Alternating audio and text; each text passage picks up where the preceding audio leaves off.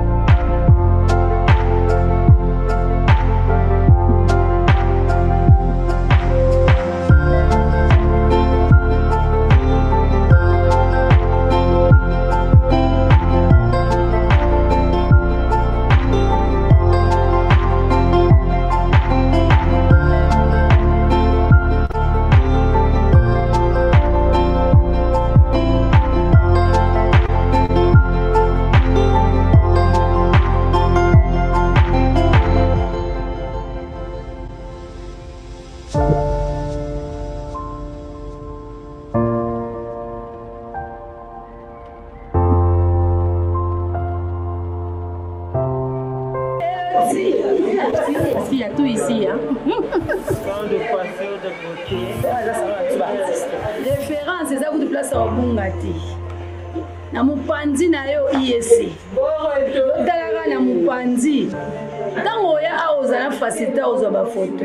ah, eza mpe na site ya bafoto donc yoko oyeka ambala mona omikangi na afrike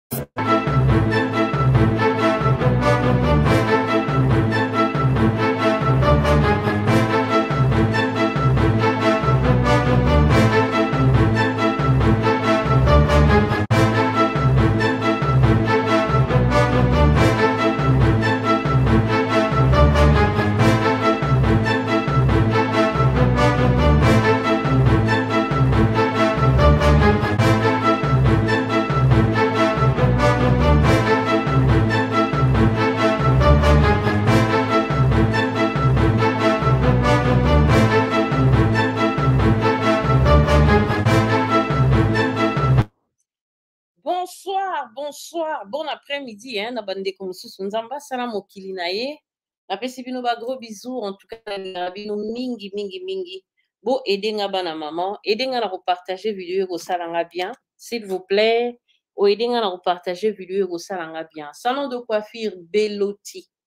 beloti salon de coiffure de ucp peshanga na kinshasa sur 24 novembre en face ya IEC olingi omisala kitoko soki okei na congo salon eza moko epai ursil peshanga na beloti olingi olata okei en tout cas epai ursil peshanga bakoaide yo na kolata bien oza na besoin ya conseil sur l'habillement et tout manicure pédicure kopose ba euh, manzaka baperike tissage service nyonso kolinga massage ezali wana na beloti epai ya ursi peshanga okozala vraiment déçu toza na problème ya po ya babouton kende kuna okozwa baconseil ya bien parce que baproduit na ye eza baproduit eutaka na mikili ya poto napesi bino bagros bisous bino nyonso bolingaka biso na kati ya congo rdc eloko ya makasi tv école de l'excellence école de savoir faire euh, epai tozolinga communauté eza na ba bonne manière la voix de son voix et euh, voilà ça c'est Congo RDC on soutient de faibles et on veut que la communauté qui n'est liboso on dénonce les mal on donne conseil on met les piments et toseki mwa moke ndenge ezalaka kaka nalingi bino mingi en tout cas napesi bino mbote aide nga na ko partager video pardon na youtube en tout cas to partager video na facebook bazo dominer biso kaka bandeko ya youtube pardon partageli nga video ekosala nga bien partageli nga video yaya ekosala nga vraiment bien mingi alors affaire grace temo grace temo euh, mama likelemba a detourner mbongo ya likelemba oyo bazalaki plus de 15 personnes et alors euh, à l'occurrence moto ayebani na kati ya bato wana nyonso oyo basali likelemba entre guillemets ezali ndeko na biso tobengaka miriam mawete yaya bastar ndenge baleki babengaka ye ya mireille mawete hein? ye nde mutu ayebani na grace on va dire na soit disant mama leki ya miriam mawete oyo awuta na angola avandaka na kinshasa lisolo wana je pense que bandeko ebele boyoki yango je pense depuis hier ou avant-hier c'était là dans les réseaux sociaux et matie kitie baluki affaire likelemba ezalaki sombele suka na likambo et alors euh, émission nakozala mpenza molai te parce que nazoya kosala deuxième émission oyo ya bellevue kandi la patrona alors likambo ya mama likelemba grace temo azalaki mama likelemba likelemba bamosusu batie mitu mibale bamosusu batie mitu misato ebongo likelemba yango esuki grace ameli mbongo bamosusu 50 000 bamosusu 150 000 en tout cas veracité par rapport ya montant oyo grâce ameli bandeko ezoyebana mpenza te nga nazalaki en pleine émission namoni merci beaucoup jamla napesi jamla mbote namoni napesi ndeko boluka nzela mbote mingi napesi ndeko Joyce Beni mbote, napesi ndeko na nga PM mbote, ndeko Hollande, napesi mbote ndeko Renate, napesi mbote e uh, napesi ndeko Somo mbote, ndeko Christine napesi yo mbote, ndeko Raclé napesi yo mbote, Audrey napesi yo mbote, en tout cas napesi bino nyonso mbote meme oyo bolanda biso na rediffusion. Nga nazalaki en plein live lobi, je pense que tozalaki na makambo ya il y a ba pardon et Kitty Mati, il y a nous voulons la paix. En tout cas, nous voulons la paix et euh, toujours soutenir un makasi ndenge pasteur de la foi lobaki. Alors namoni bandeko batindelaki nga banini yango ebele en tout cas bolimbisa. Nazaki tellement fatigué après wana nasololaki na ndeko moko na lali. et na tongo boyebi kaka vite vite na ke musala et les après midi il falaki na kende kozwa carton ya ba perruque oyo ya grace temo atekaka epai ya mama leki na ye biso so toyebi ke mama leki ya grace azalaka awa na poto ok alors ntango nakei nazwa euh, paquet ya ba perruque oyo grace atindaki grace aza na marque perruque wana bomoni alati na mutu aza na marque na ye ya grace hair hein? donc grace temo asala ba perruque ya grace hair akendaka na inde asala commande basalela ye marque na ye ya ba perruque eza grace hair alors eza na mwa bandeko moko bakomandaki awa ifalaki nasalela grace service wana napesa bandeko wana donc ntango nake kozwa bapurike wana epai ya mama leki nde mama leki azoloba na nga ah, mama lumière ozoyoka te likambo ya likelemba nabi likelemba namonaki me nasali mpenza attention te parce que nazalaki en plein live oyo toza kosala ya babelvie kitie mati après nasololaki na ndeko moko problème familial ndenge ezalaka ezalaki mwa makasi mingi apres dodo mbangu mbangu musala me naye komona après message ya mama beya mama beya nauti omona message no na répondre yo à peine en tout cas bolimbisa bandeko nyonso na répondre bino à peine mpo namoni yango sikoyo alors ntango na livre ba nazwi ba perique plutôt nakei mbangu na poste natindi yango mpe mwa à son tour mpo bandeko yango baza na mwa village moko boye ntango nazongi nabandi kotala bavideo ndenge ezalaka namoni moni wana mpe ngai moko nakamwe en fait nakamwe parce que nayebi ke il y a deux jours nasololaki na grace eza kutu eloko toloba te mais toloba grace était vraiment malade mais actuellement elle va aza na convalescence mais aza bien donc Grace aza bel et bien na Kinshasa. Ekamwisaki nga po parce que déjà lobi nasololaki na ye mais parce que kaka kotya voice na ye osalaka mwa bizarre eza na bavoice atindelaki nga par rapport ya business na ye ya banini ya baere wana mpo na ede naza mpa mama leki na ya kotya e nga moko avant na banda émission personnellement nabengi ye nalobi grâce qu'est ce qui se passe obatami wapi oza wapi likambo ya mama likelimba lisolo ya likelimba eza ndenge nini grace alobi peut-être eza grace moko soit grace timo soit grace tamo soit grace temi bato basali confusion en tout cas bayebisi bandeko ke eza grace temo mama limia yo oyebiki ngai naza malade naza awa naza na mama na ngai nayebi te peut-être eza ndeko moko grace temi ou bien temo ou bien tamo babiloko moko ya ndenge wana mais c'est pas grace temo mama limia yo oyebi ke ngai nazobela oyebi ke naza na komi convalescente et alors c'est pas vraiment moi eza grace moko boye alors soki eza neti ngai nazokosa euh, yo mama lumière oyebi ke nakosaka yo te e tozela bavoice soki batie bavoice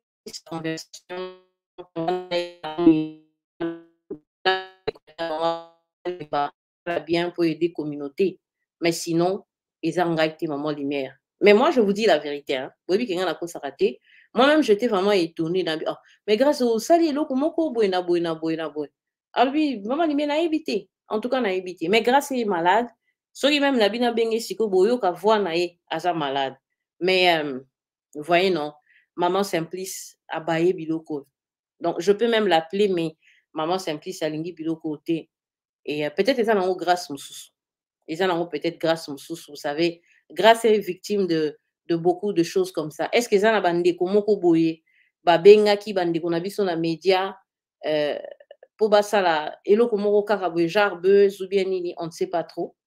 omoni eh, donc toyebi te nayebi te vraiment soki nakoloba nini mais tile ke eza grâce te ah, peut-être ekozala grâce moko boye bandeko bayoki mabe babengi bandeko na biso babi te botala grâce etu parce que oyebi na kati ya média so babi grâce nous tous tokendaka vite toyebi ke ya grâce te ozo comprendre donc peut-être eza grâce moko boye nde euh, bandeko bakanisi eza grace temo na biso na bino tozela ba voice ekokata makambo soki tokoyoka conversation ya grace na bamama likinima bazoswana na baya mirem mariam mawete baza koswanaswana mpona makambo ya ya mbongo en tout cas ekoyebana bon bazali kosala virement yango na, na paypal bazali kosala yango na western union na monogram en tout cas toyebi na biso te mais etili ke eza grace temo te peut-être grace temo akosi nga akosi mama leki akosi mama na bango tozela peut-être bavoice ekobima mais tili ke eza eza grace te donc on ne sait pas peut-être bandeko moko bavandaki babi te eh, tobenga kuna na réseau sociaux tokosa bainformation et tout eza eloko moko eza bien te omoni nde tovandi boye na kati ya réseau sociaux aujourd'hui toza na problème oyo tozolinga tosilisa yango ekomi sombele ekoti vraiment makambo sorry makasi mingi so nabimi na live oyo naoya osala live ya ba bellevue e tokoki okata yango te moni donc euh, eza vraiment grâce te yango ezalaka soki ndeko ozoya kopesa lisolo na réseaux sociaux précise bien lobaki eza grâce timo eza grâce euh, tamo eza grâce peut-être temo aussi mais eza grâce temo te oyo ya influenceuse omoni il faut kopesaka baprécision ezalaka bien parce que bakombo mpe ekokanaka okomona mpe moto mosusu kombo na ye ta mosusu gisele elonga omoni bayo aloba ah eza maman lumière non non non mboka revino alors eza grâce te moi aza malade vous comprenez grâce te moi malade vraiment soki eza grâce babikisa na bango ye te batia ba voice na mama mariam komeli na mariam wete batie conversation na bango comme ça on va dire à grâce bon voilà baconversation na yo yango oyo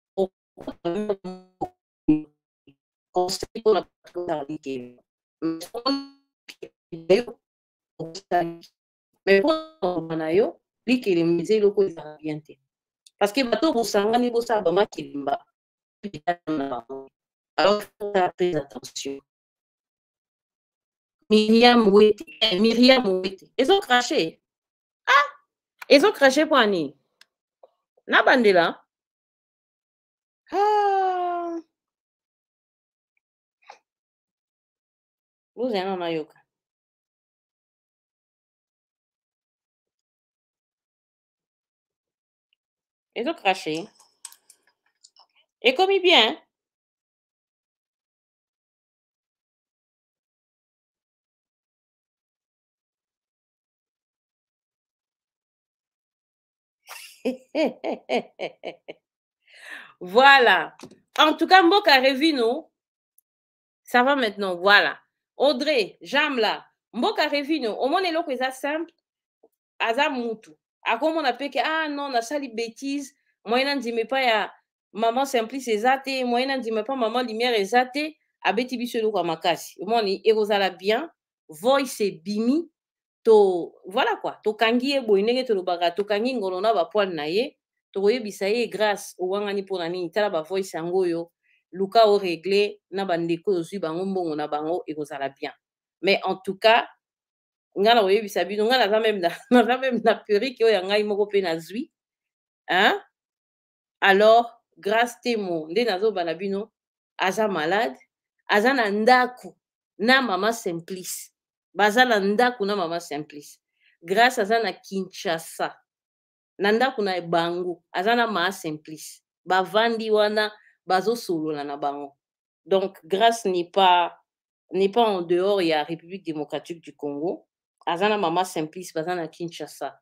peut-être eza grace temo mais oyo ya ye te mais soki eza vrai bandeko baza en possession ya ba voice na ye ça sera mieux ba voice etiami tokoyebisa grace to ba voilà grace yo yeyo yo yeyo ozoloba hein? yo yeyo yo yeyo moto ozoloba sikoyo ozowangana mpo na nini omoni eloko tokosala yango wana voilà quoi Ya solo mboka revino. Oyebi ke nga na kosaka te. Hein? Zela.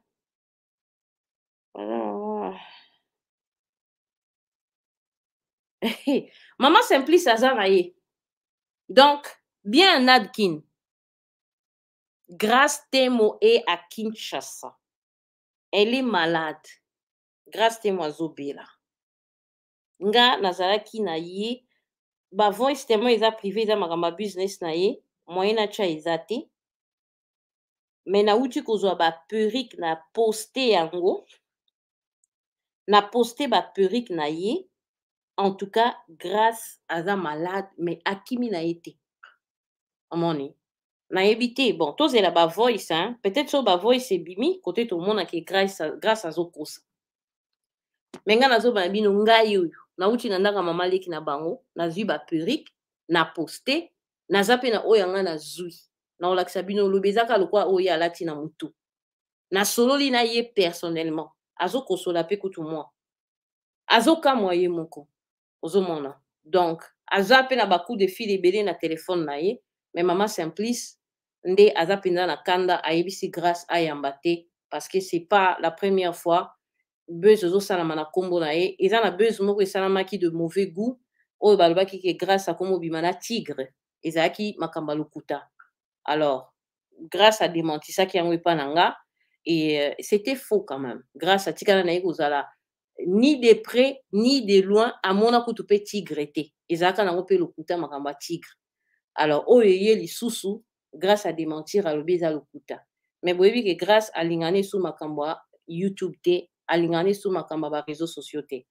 grâce azoprépare eloko na ye moko boye ekobima nango kala mingi te alors est ce qu'il y a des gens oyo baza vraiment na voice ya grace babimisa yango comme ça ekoaide toute la communauté esala bien parce que na kati ya likambo yango mama simplice afingamaka toujours bomoni c'est pas du tout bien biso so toza na bamama so bazofinga mama eza bien te so bazofinga meme yo moko na likambo oyo oyebi yango te esaka mpasi grace c'est notre sœur grace aza ndeko na biso soki ayibi tokoloba na grace tika koyiba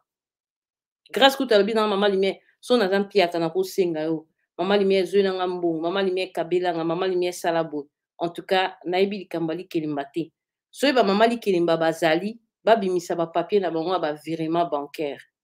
soit bazali kovirele nga yango par paypal ou bien na monogramme ou bien na western union parce que na western union so batindi yo mbongo ebele bablokaka alors comment se fait-il ke nga bazotindela nga bambongo ebele chaque mois naza bloke te nakendaki inde nalakisa bavideo na nga ezali bato balanda nga bamona bavideo na nga nalakisa meme chambre d'hôtel nayibi eloko ya motu te mama limia nasaleli kelemba te donc tozela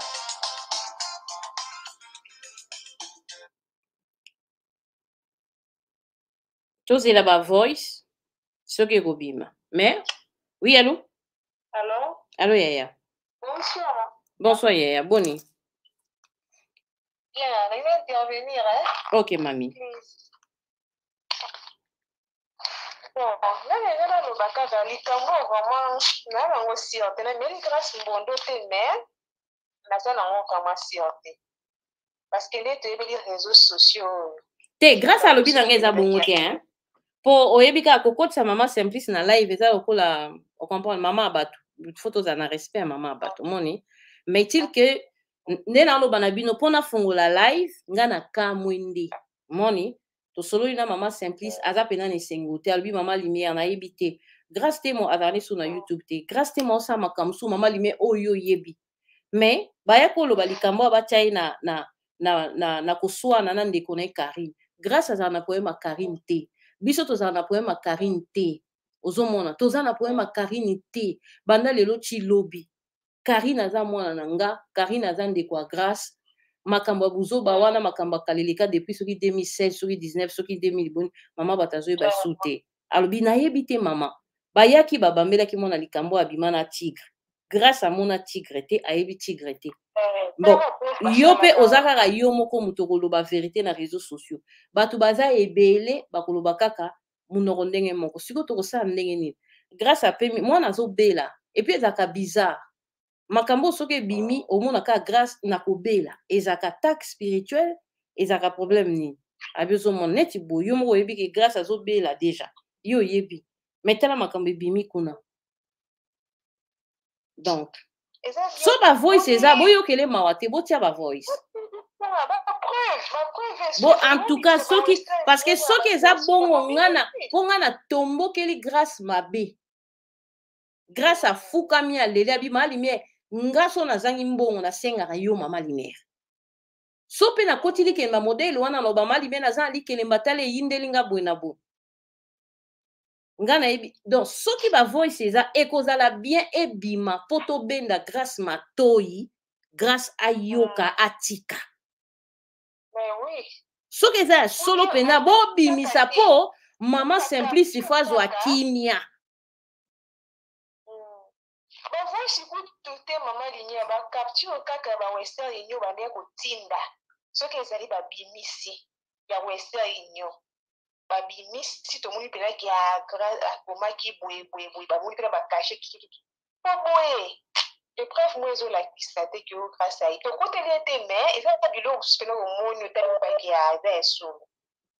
mais oyo eza kaka ba histoire moko monte omoni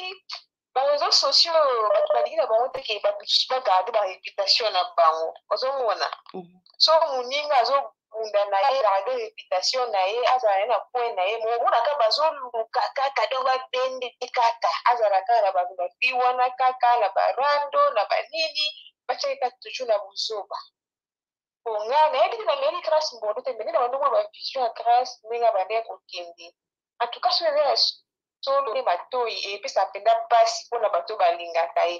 mais totoki yango nanu otya wana mwa entre parenthèse parce que te omoni omoni ngai omoni nga nga mpenza nayebi te sozoka mongongo na ngai eza meme ya kozika nga mpena na sida bane kosilika deja epa mama leki na bi mama leki grâce à jeune fille grâce à kobanga biso abombi secret ozo comprendre mm. grâce à kobanga biso mm. abombi secret mama leki abi nga nabokola grâce nayebi soki eyindeli grâce akoyebisa nga malimi akoyebisa mpe yo mais aza moto akozala mpe abombi ebongo bango bamama likelemba bakoki kozwa te bapapie na bango balobaka etala yanga yango yanga yango Ma- ata kutu kotinda na western western akoma kobloke soki yo moko motu batindeli yo mbongo mbala ebele baobloke yo sikoyo mbongo ba- meme paypal soki batieli yo mbongo ebele paypal mpe akoma obloke sikoyo mbongo yango batindeli ye grace na voi nini babimisa na bango mpo togangela kaka grace yango esila nga na ye ntango na poste biloko nazongi mpo nabengaki mama simplice alobi grace alali ntango naye kobenga mama simplice alamusi ye mpo alalaki mingi alamuki omoni nga kuna bine grace soki ozwi mbongo ya bato alobi malimi ata mbote te ka mama ozoganga nga bi te grace parce que ndenge eza wana soki ozwaki mbongo ya bato mama simplice aza libanda loba ozongisa mbongo ya bato mpo mwana mwasi ya vivara vie ya boye te alobi mama lumière nazobela ah. nazwi mbongo ya bato te nga nasaka na nga su youtubes te nasaka na nga babesi nasaka ah. eloko te peut-être eza grâce timo ou bien eza grâce tamo ocomprendre bato baconfondre eh, mais babimisaka bavoice mpo bino na bacapture soki eza bongo mama lumière bozonga boloba na nga nyonso bolingi bopesa nga conseil na koyoka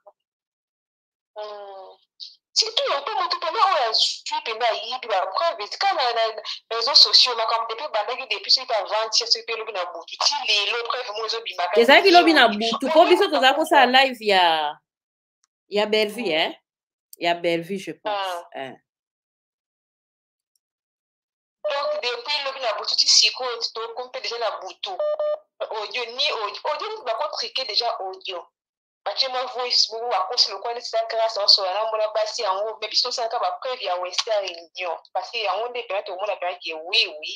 ya solo po western union mpe bamonta wana mpe bandima yango mpe eleka mpe eza mpe facile te me mwa preuve moko kaka tomona ke e batindaki bandenge kotinda yango nde tozosenga so preuve eza te qu'est ce qui prouve que grâce à meki bato bongo omoni te omoni façon façon mpo ma, ma, mama mama simplice oyebi biloko bandeko tala grâce soki tamo soki timo botika makambo bokoboma bato angani mama simplice déjà awuti ah, deya na mpasi ya monene mama obotika ta pema elobi ta masa masa epesasi mama limia nalali te nayebisi mwana nga oza mwana nga loba epuis mama limia grace soki asala yango akoyebisa ngai babambela grace likambo monene awa batia ye na confusion na karine grace alingi soki tigre ata alo na telefone grace ayebi mwana mobali wana te mama moyibi grâce aza ndeko na bino aza mwana mwasi bobimisi ye ndumba boye kobakela esu moyibi bato nyonso bazolanda eske bazondimaka eza lokuta bongo grâce asala bino nini na youtube bandeko na ngai ndeko yo moto oye kopesa information bosaka boye te hmm? Batu nionso tout te bazo ndima. Omoni na monde ya lelo lokuta ekoti mingi. Kokosela batu ba makambu, mutu akueya likambo a monter likambo moko boye akomisi yango pe ya solo. Batu ya mayele oyo tika nde neti biso tozo senga ba preuve boye baza nanu na ba doute. Ozo mona na likambo mosusu pe oko tala nao pe boye otali aah est ce que vraiment est ce que vraiment est ce que ako sala pe likambu ah te na ndimi te. mpe bapena baja ya bato ntango mosusu likambo mpe elingi botali na forme na ye na nde mpe azalelaka okondima mpe facilement meme ya moto mosusu mpe okotelaki mwa badute mpe mwa ndambo mpe ozomona mpo moto mhm. tokomela moto mbondo te me otali mpe kuna makambo tozomona na réseau sociaux mama lilia kondima likambo facilement boni bozala kaka moto mo bolingi no kaka moto te tosepela na moto wana te okomisi likambo wana ya solo moto amoni bafilme na réseau sociaux trop moto amonte mpena histoire ekomi mpe asolo bakomi kofinga mudale neye etikaki bato na mitu akoki keke mwa ekomi yo te ezalaki histoire ya lokuta bolimbisa ye boye boye ozomona sikoyo ba makambo ya boye tolondima so makambo ndenge mpo tondima mpo bapreuve tomoni mpena bapreuve boye boye boye boye nde tolobi aya solo aya maloba boye non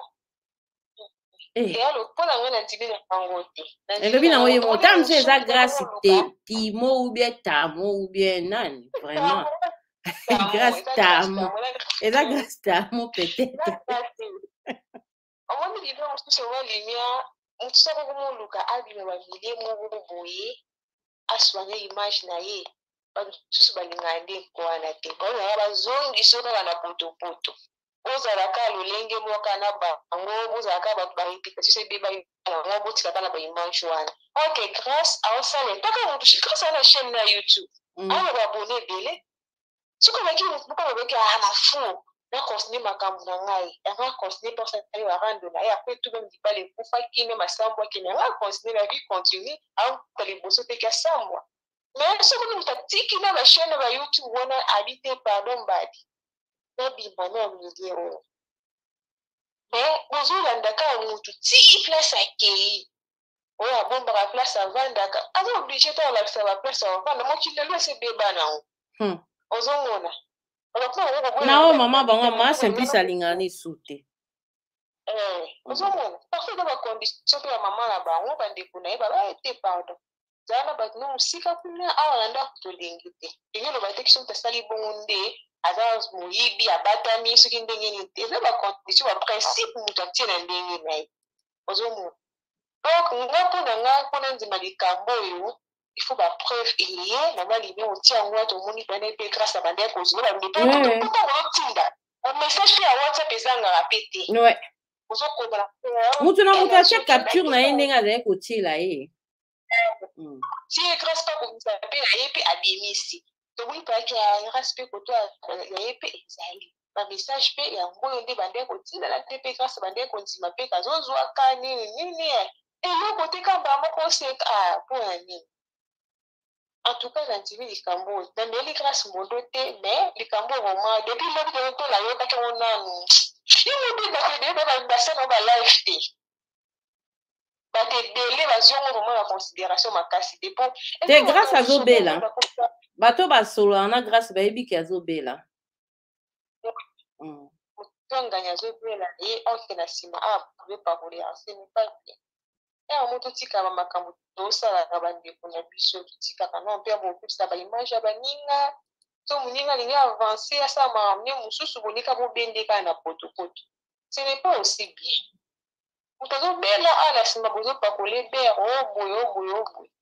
soki oyibaka tosala likambo moko ekolinga te ke yo mpe fofo bato balanda yo na linie wana non soki ogafaki na likambo moko boye ekolinga mpe te ke moto wana mpe agafeka na likambo oyo osalaka mm. non eza merci ma chérie bongo ya lisusu te molove na ngai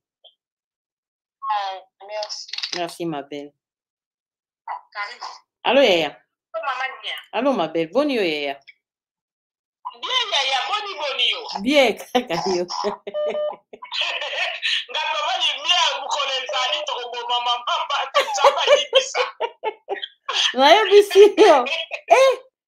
mama makambo nyoso ekwela mobali bien na Eh. mwana ya basi Mama. nga na kamwe navandi boye atindeli nga bavoice oyo mama libe pardon eh, ozwa banini ozwela nga koli otinda eh, ba- bana basi omoni bato bazala na baprovince wana nga abi ok nakepa mama leki nakozwa mama leki abi ah, yo makambo ya na youtube ozomona te nga bi bon namoni kaka bazotina yanga likelemba mais nalalaki lobi retard mwana moko aza na famille na bango rando bakosakana te nazotelema nazokota kosokola na oke kayu donc namoni kaka mabe azokomela malibi ebanda na banda kokomela ngabi eh, mabe azokomani donc nazotalela yango epai na yabi malimie babi grace ayibi sa 50 mille nga moko na kamwe abi kote mosusu babi 50 mille malimete otuni grâce awa grâce atomboki kuna alobi yango ngai nazwa yango abi mama mpo esali na confusion na ngai bo grâce yo kozwa eloko ya boye abi bo ngai nazala nazwi mbongo wapi nayebisi yo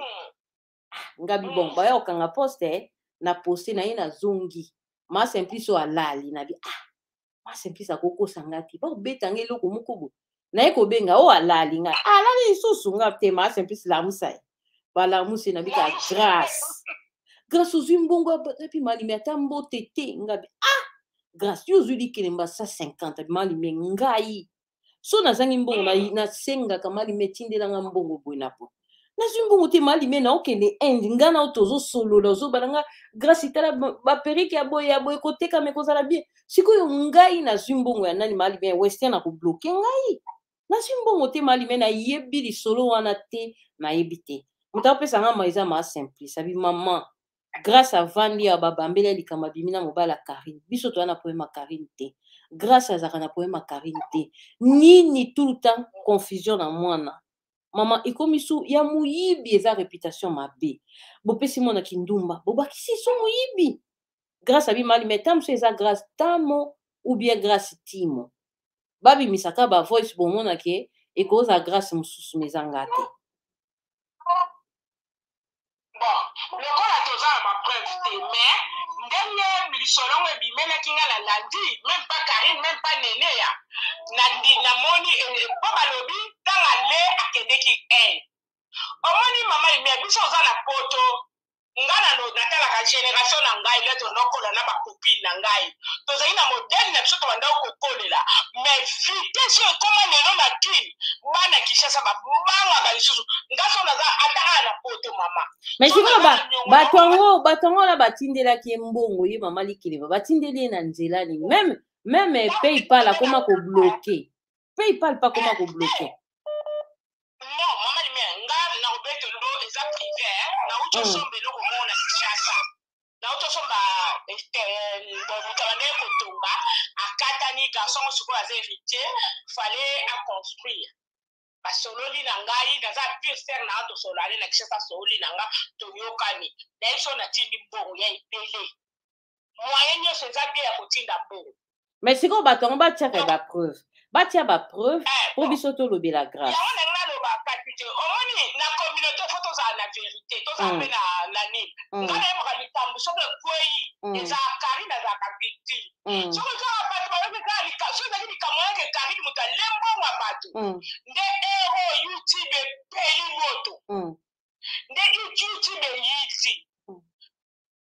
grace soki ayebi ke azwi mbongo te aleli kelemba te mpo makambo yango makambo yango nde baoloba ezokende neti ndenge wana akendeki inde ye moto aliaki moto ya liboso asoni baperike en plus balobi a chaque fois azobenge azobela azalaka eh. malade azaka malade etombe mpe ke ntango yo kobengi aza mpo babi azoyamba te soki ozobane voi mpena moto ya malade mama yoka yoka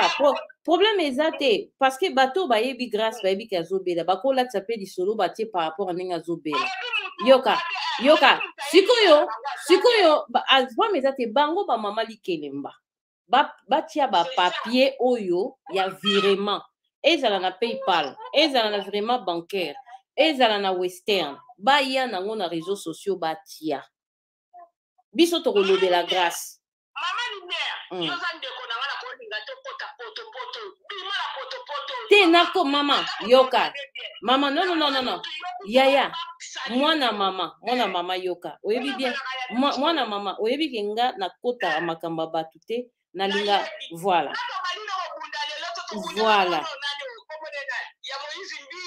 eh, yoka yoka nga nazokotela yoka nga nakoteli grace te biso tozoloba tozoloba soki grace azokosa na biso ma simplice na maaleki bato wana sikoyo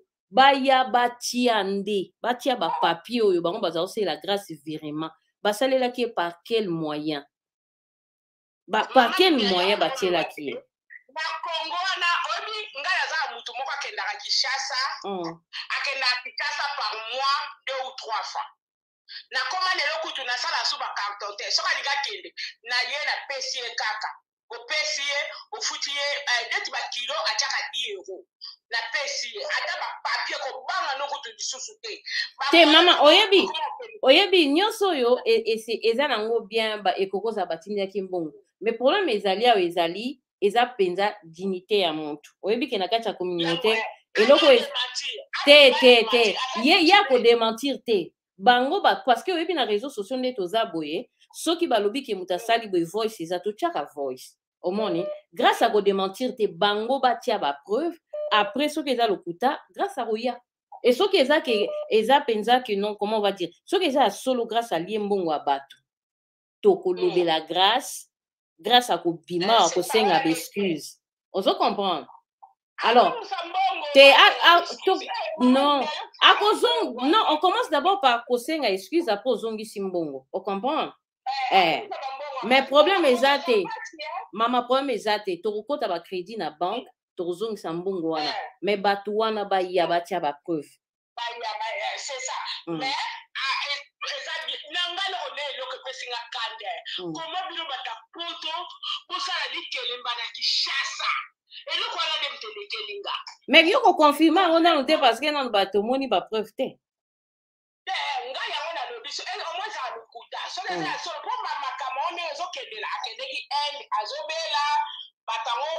bon nayebi nayebi so eloko moko naloba no eloko moko mpenza eh. loboko na motema nzambe aza na likolo azomona eh. nga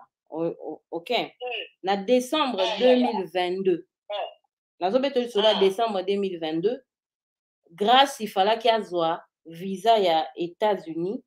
je pense na turquie azwaka nano je pense visa états-unis mpe ebimaka mapesaka priorité na turquie moni ntango azongi ifaki akende inde asala marque na ye ya baperruque ocomprendre maye koloba na ngai bi mama lumière nakokende liboso états-unis soki nazongi nakokende na ngai na inde bon mwa baprogramme nde mosusu nabombi nazoloba oyebi ngai nayaka na likambo na sentiment te omoni nga ntango ezalaki bato bazokosa o oh, karine boye na boye ntango nayaki koyeba verité nayaki nalobi boye mm. oyebi deja nga nalinga te koya kobima na likambo oyo ya kocontourne latinga oh, eh. donc moi j'ai demandé à eh, grâce eh. Mm. Mm.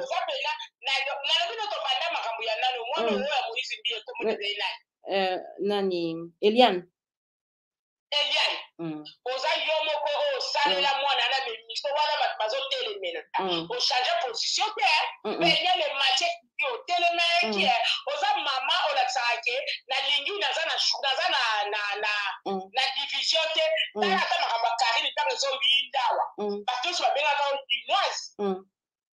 meme ya jari na mali ozalaki na esengo jour wana tolalaka te nga na yo mm. mama lumière mela kape kuna mwana mali mm. ozalaki na esengo mm. toveya ntongo tanga na veya na chaine na yo naza don yo na yango nalobi soki makambo wana eza na lokuta bakotisa bapakolo buzoba wana te mpo nayebi lopakolaka buzoba te te te eza buzoba te makambo na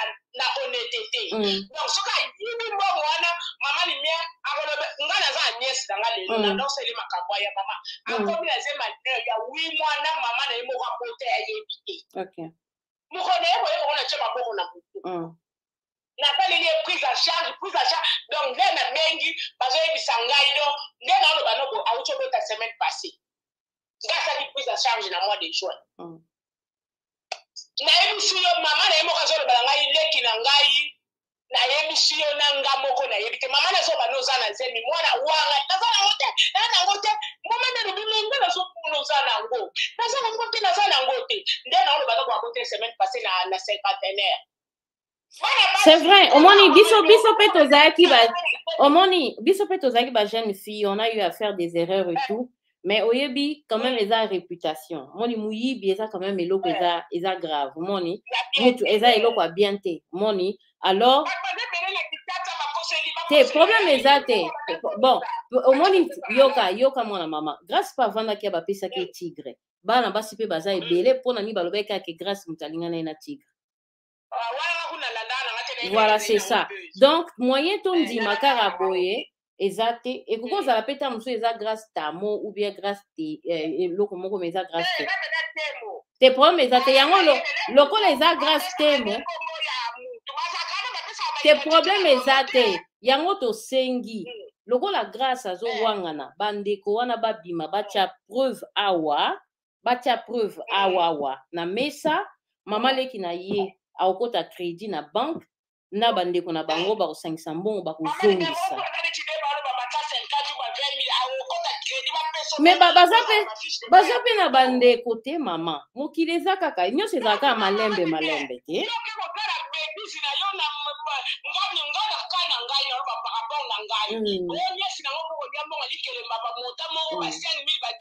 mama imena oke ekota banki te mpo nafutelo niongo wana mm. eza problème te lokola baza bacongolaise tokoyokana kaka bazwaka ata malembe malembe mais til que babimisa bapreuve eh, soki eza eh. vrai parce que oyo mpe eza dignité ya mutu omoni mm. parce que soki mpe soki mpe eza lo ah. mm. Voilà. Wana eza bakoseli ye makambo c'est pas bien bobebisa mm. réputation ya motu bongo mm. c'est pas bien mm. mais soki eza ya solo mpo na vi kobangaka makambo kobangaka soki eh, kobanga makambo mpo ekomi bato bazobanga lisusu mbongo te mama lumière mbongo yo moyebi olamukaka na ntongo 5 heure yo wana na hiver oke mosala eh.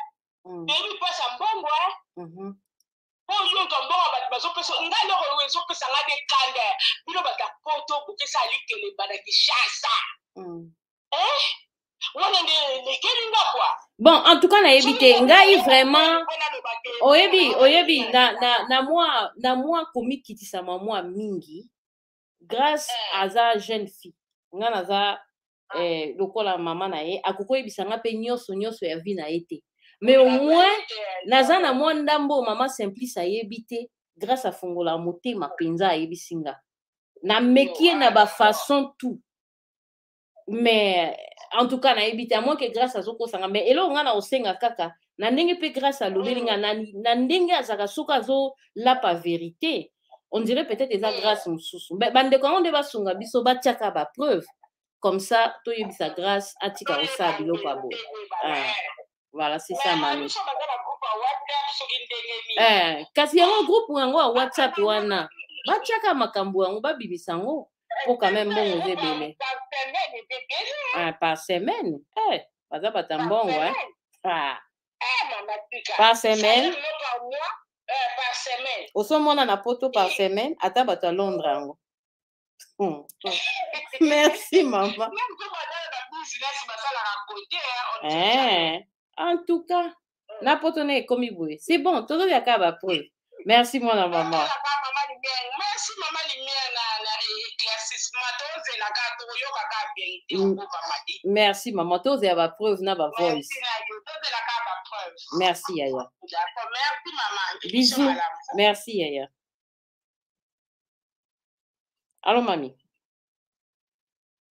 Allô, Yaya Oui, allô, maman Lumière. Allô, bon, bonsoir. Bonsoir, Yaya.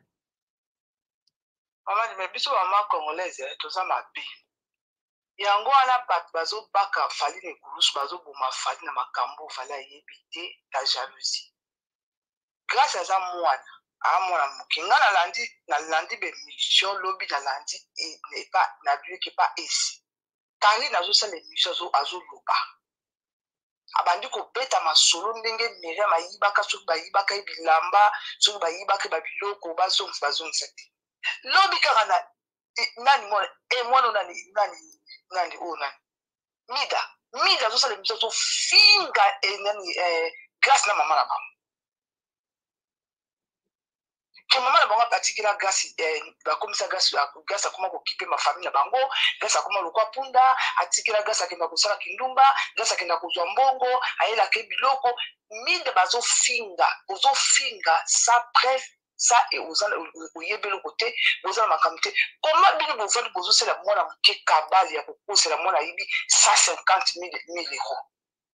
o aleli kelemba deux fois babenga telefone yambaka te mosu aleki ya kofi eh, grâce yango kuta amonaki asali video alobi eh, naza na inde na ye kosala baperike ya marke manga tala kabali bozosala na kati ya réseau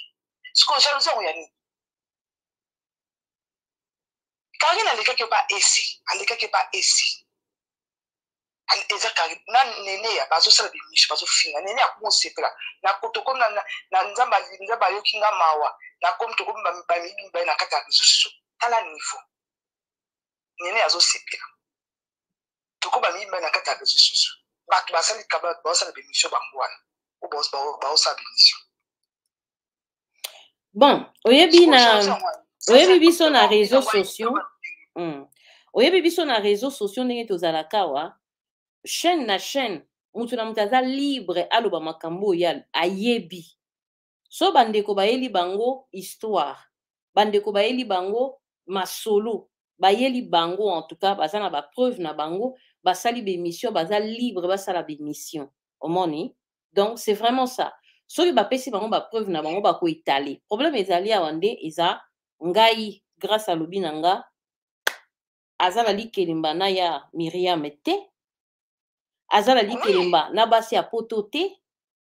azobela ayebi makambo wana te epuis monte yango tantôt 50 000 tantôt 150 000 mbongo ebele boye mama lumière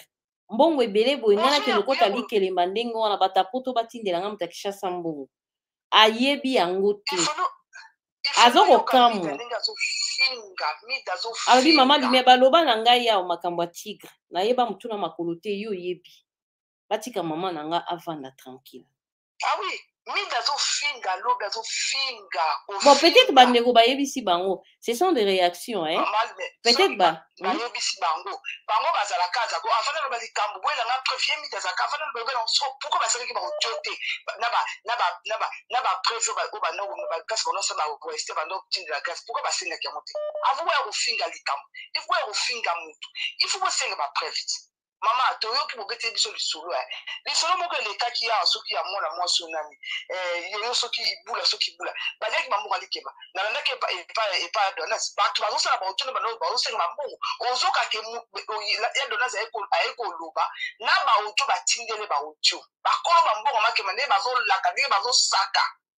likolo ba mbongo na bango ozoka ke baye baye obeto le so baye na ba preuve mais bino baye ko bisa moko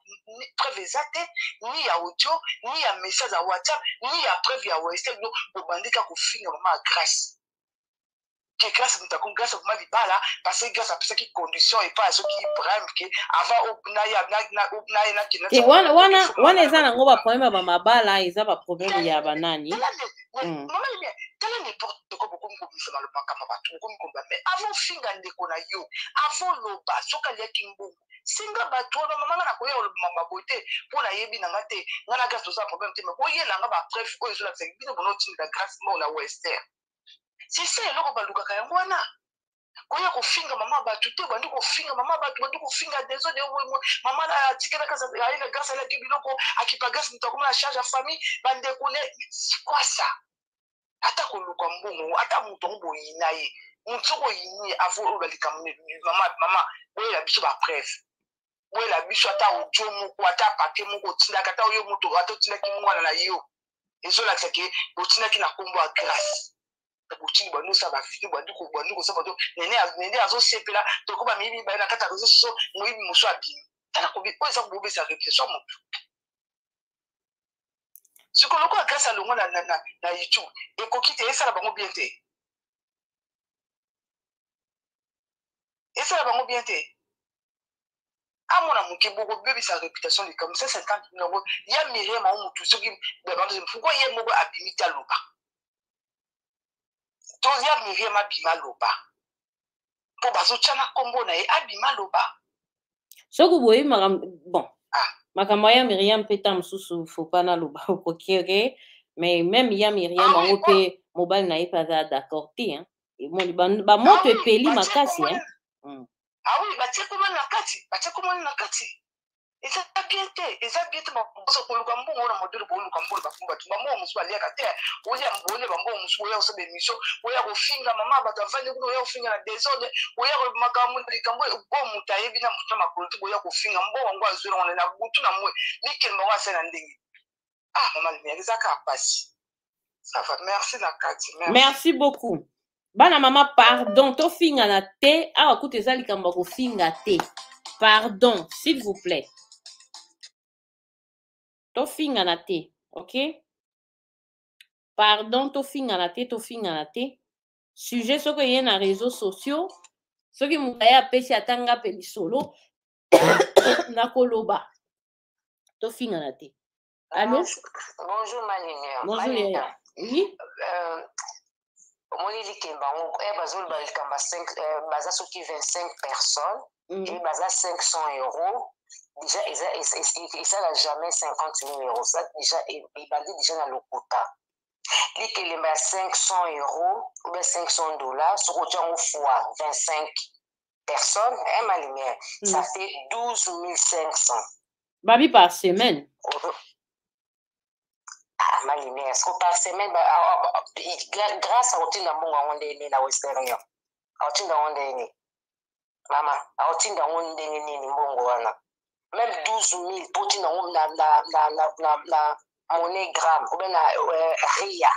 soki okoma otinda mbongo ebele makambo nyonso ya grâce bakobloke monogramme ablokaka wese onya kutu koloba te malemia tokoma kutu koprofite kutu na tap tap sense kutu moto akoma apesa biso mwa mwa baouverture ya kotindaka pamba pamba wesere nyonso euh, euh, monogramme soki motinda mbongo ebele malimia tu sais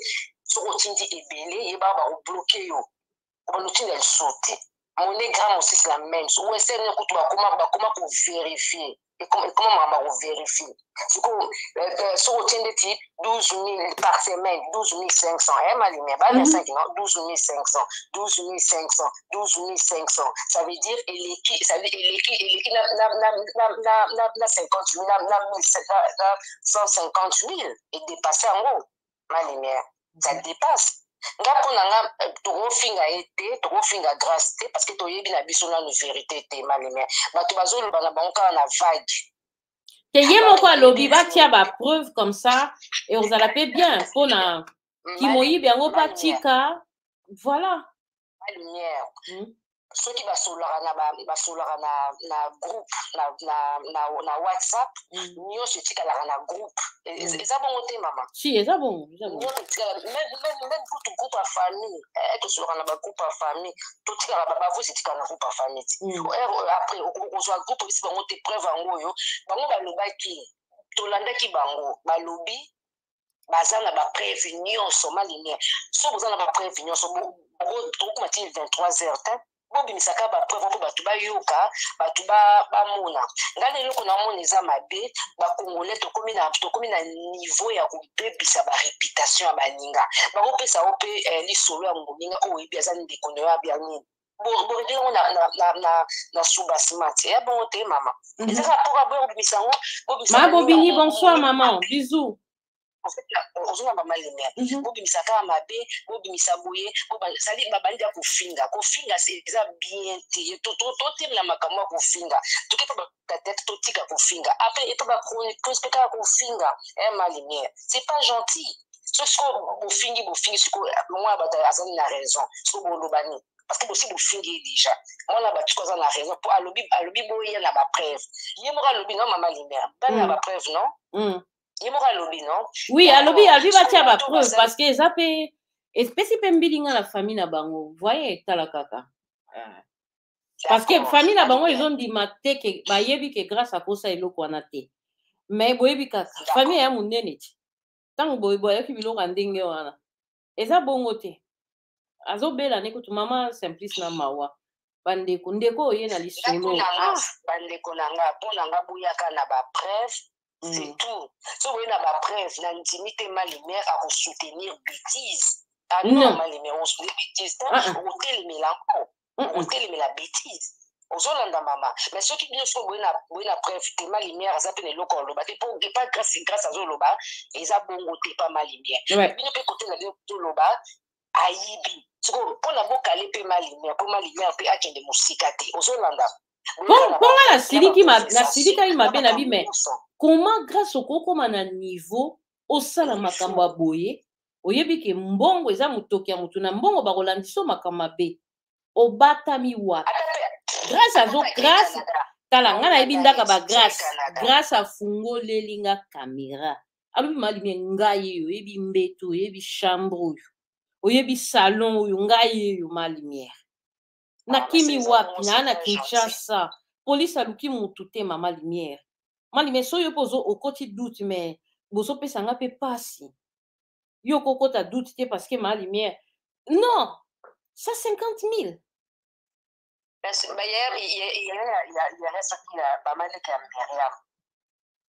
oh, ayebi makambo ayebi mama leka nasomaka na bato nyonso hmm. akende oluka grace kasi oyo na ndako na ye akende oluka grace grace abimisela ye mbongo mais euh, en plus ya kosalaka en plus koma bokosala likelemba ya soki ya moto mwana grace mpo na ngai aza mwana moke bopesa ye change ya mama kelemba ya monene minene ebongo ya ndenge nini lobi bamama kovanda na poto makelemba na poto mpe esili eza ebele so baescroke bino bolela te parce que alingaki abanotinda bino mbongo wana ndenge nini bamalinga to réfléchir alinga ntina bango mbongo wana ndenge nini obe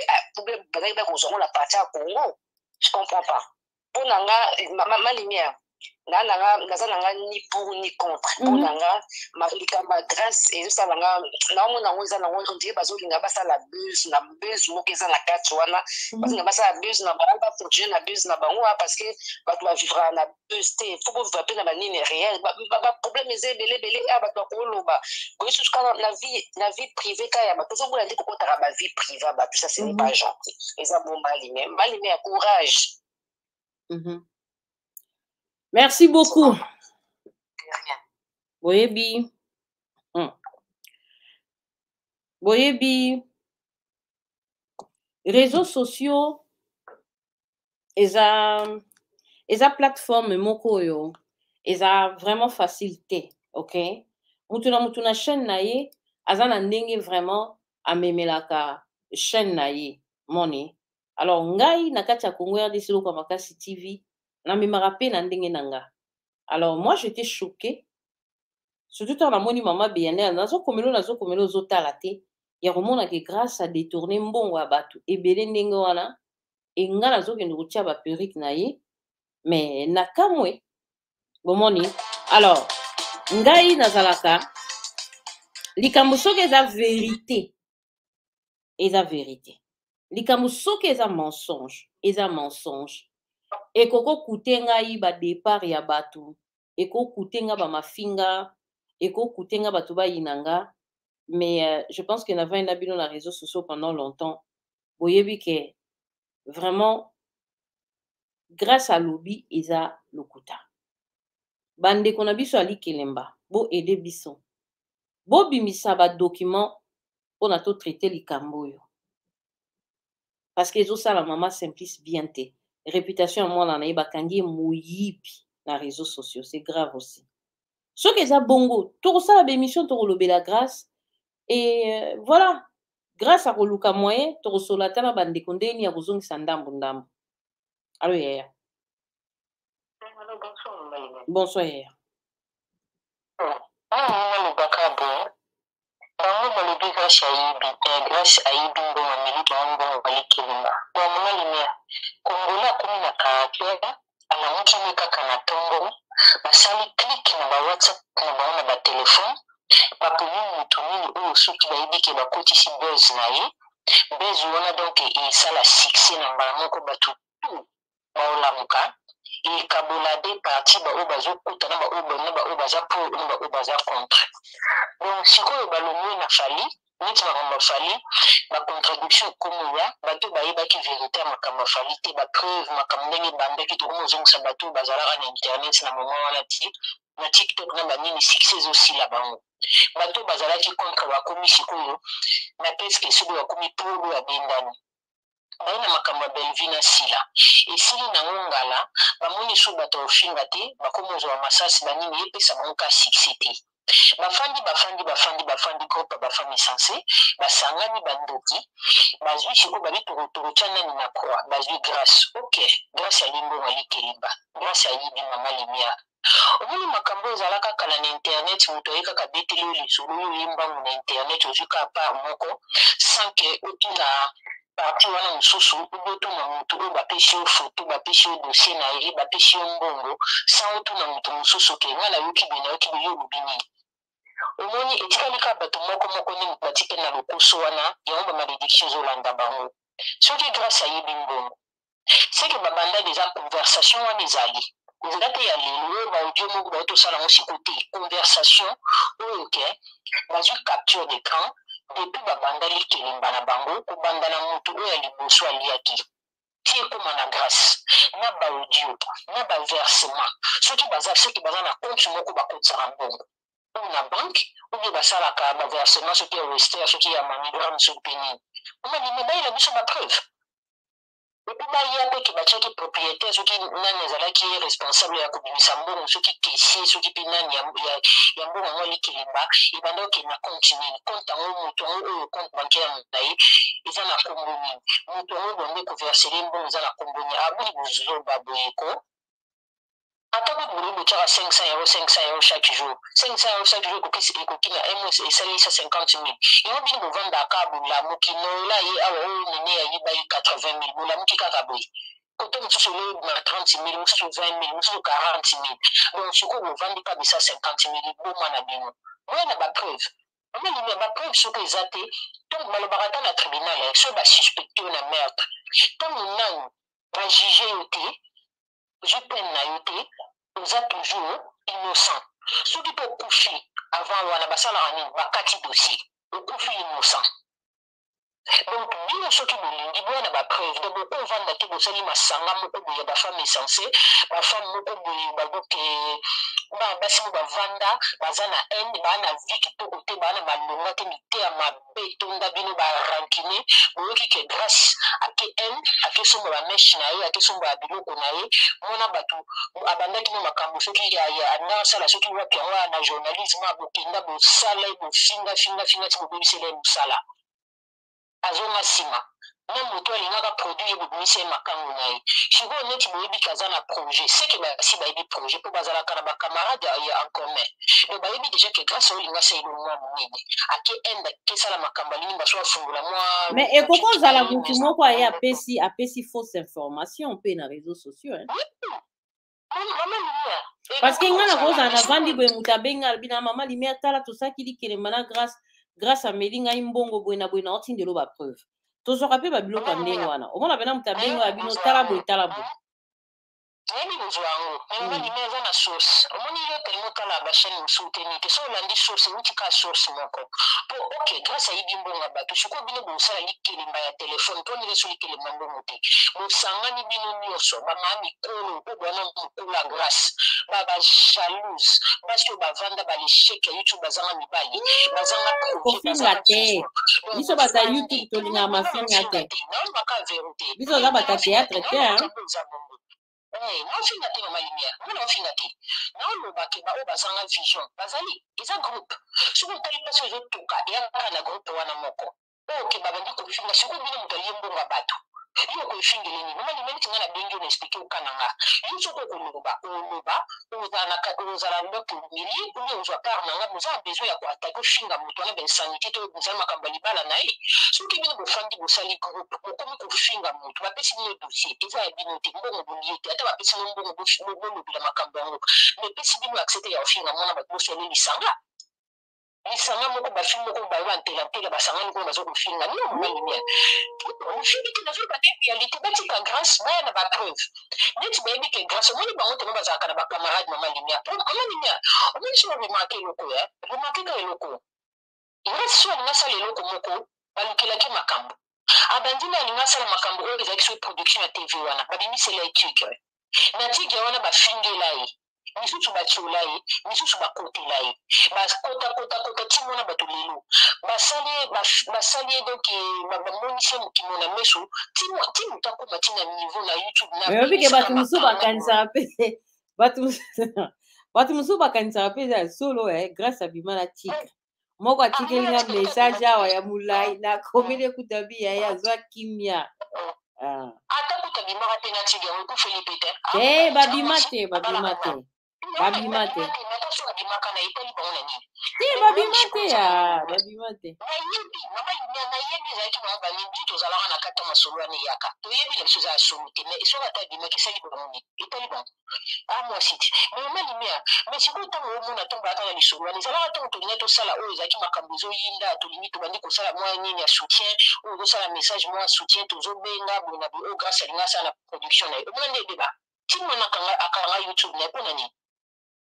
tuna mpo na bango sikoyo neti akomi okende inde ndenge na osuspecte ke grâce akomi na projet moko boye mais tellement bazalaka bango na bango bacamarade ozo comprendre bango na bango basololaka sololo bango nyonso baza groupe moko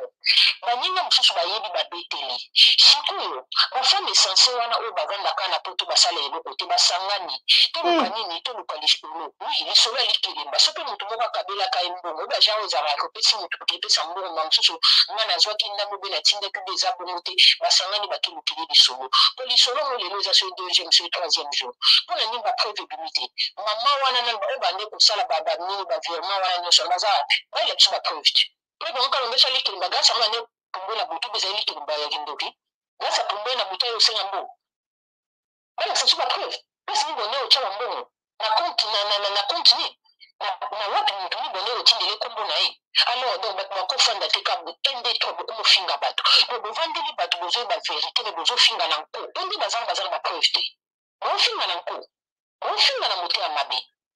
atikeli bino eza youtube botika mwana bato azoluka vi na ye ata asalaka kindumba lesa mama na ye eza lisumu te eza nzoto na ye eza ye eza famille na ye etali bino te bino soki bino soki botelemi na, na balabala balingaka bino te ye moninga asali kindumba na kindumba mpe bazwa mpe mibala bie bavanda bino neti balingaka bino te boza bituna wayo ata azosala kindumba etali bino te ntango ezoderange ye te derange famille te botika mwana bato bino kaka so moto alingi asala eloko bosaleli ye likita mwana bato so alingi abaluka bosaleli ye likita fali alinga asala boye batimi ya bainiar wana babimi babandi oluka baproblème likambo eza yango tout droit niki ayaka na bétise ayaka na mwana na ye awa me bozwi fali bolati papa irresponsable ndenge bokolaka bana wana belvi aosala filme na ye bokoya kofinge poussière otali mwana mwasi ono omoni mpasi nini poussière eza eza te eboya mafuta mbili yana kinshasa moto akozala mpenza poussière na monde ya lelo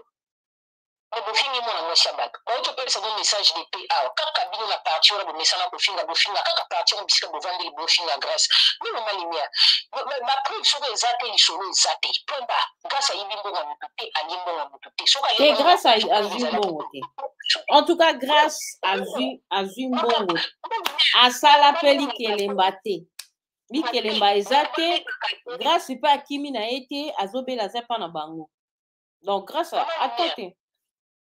nga mona alobaka te yo ntango osala émission otika kozala na au milieu de village yo tosola na grâce naza milieu du village te nalobi bien nalobi ke grâce ayebisi nga azwi te soki biso tozotya tembe tozozela bapreuve parce que tokoloba ah grâce bato bakoyaka Mutu babi ba preuve oyibi eza te. tozozela preuve Mutu ba preuve eza- mutu ba preuve eza te. Mm. Grace ayibi mbongo ya mutu te, tokozala na part nga pena 100% Grace. Mhm. Donc Grace ayibi mbongo ya mutu te, alie mbongo ya mutu te. Ki ba preuve ekoya. Ata pe ba preuve ekoya, na obalukela kaka bango. Point barre. Mama Limia na olamba. bisous mama grace ayibi na ye te Mm. Bisous, bisous. bisous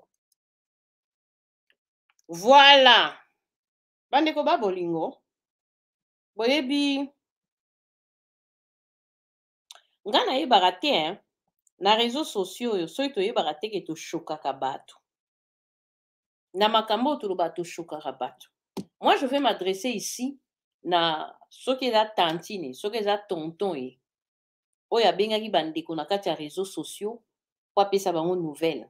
boyebi nga mpe nakovanda boye moto abengi nga alobi na nga mama lumière ndenge eza boye jame la tosaki ne likelemba jame la alie nga mbongo jame la asali boye asali boye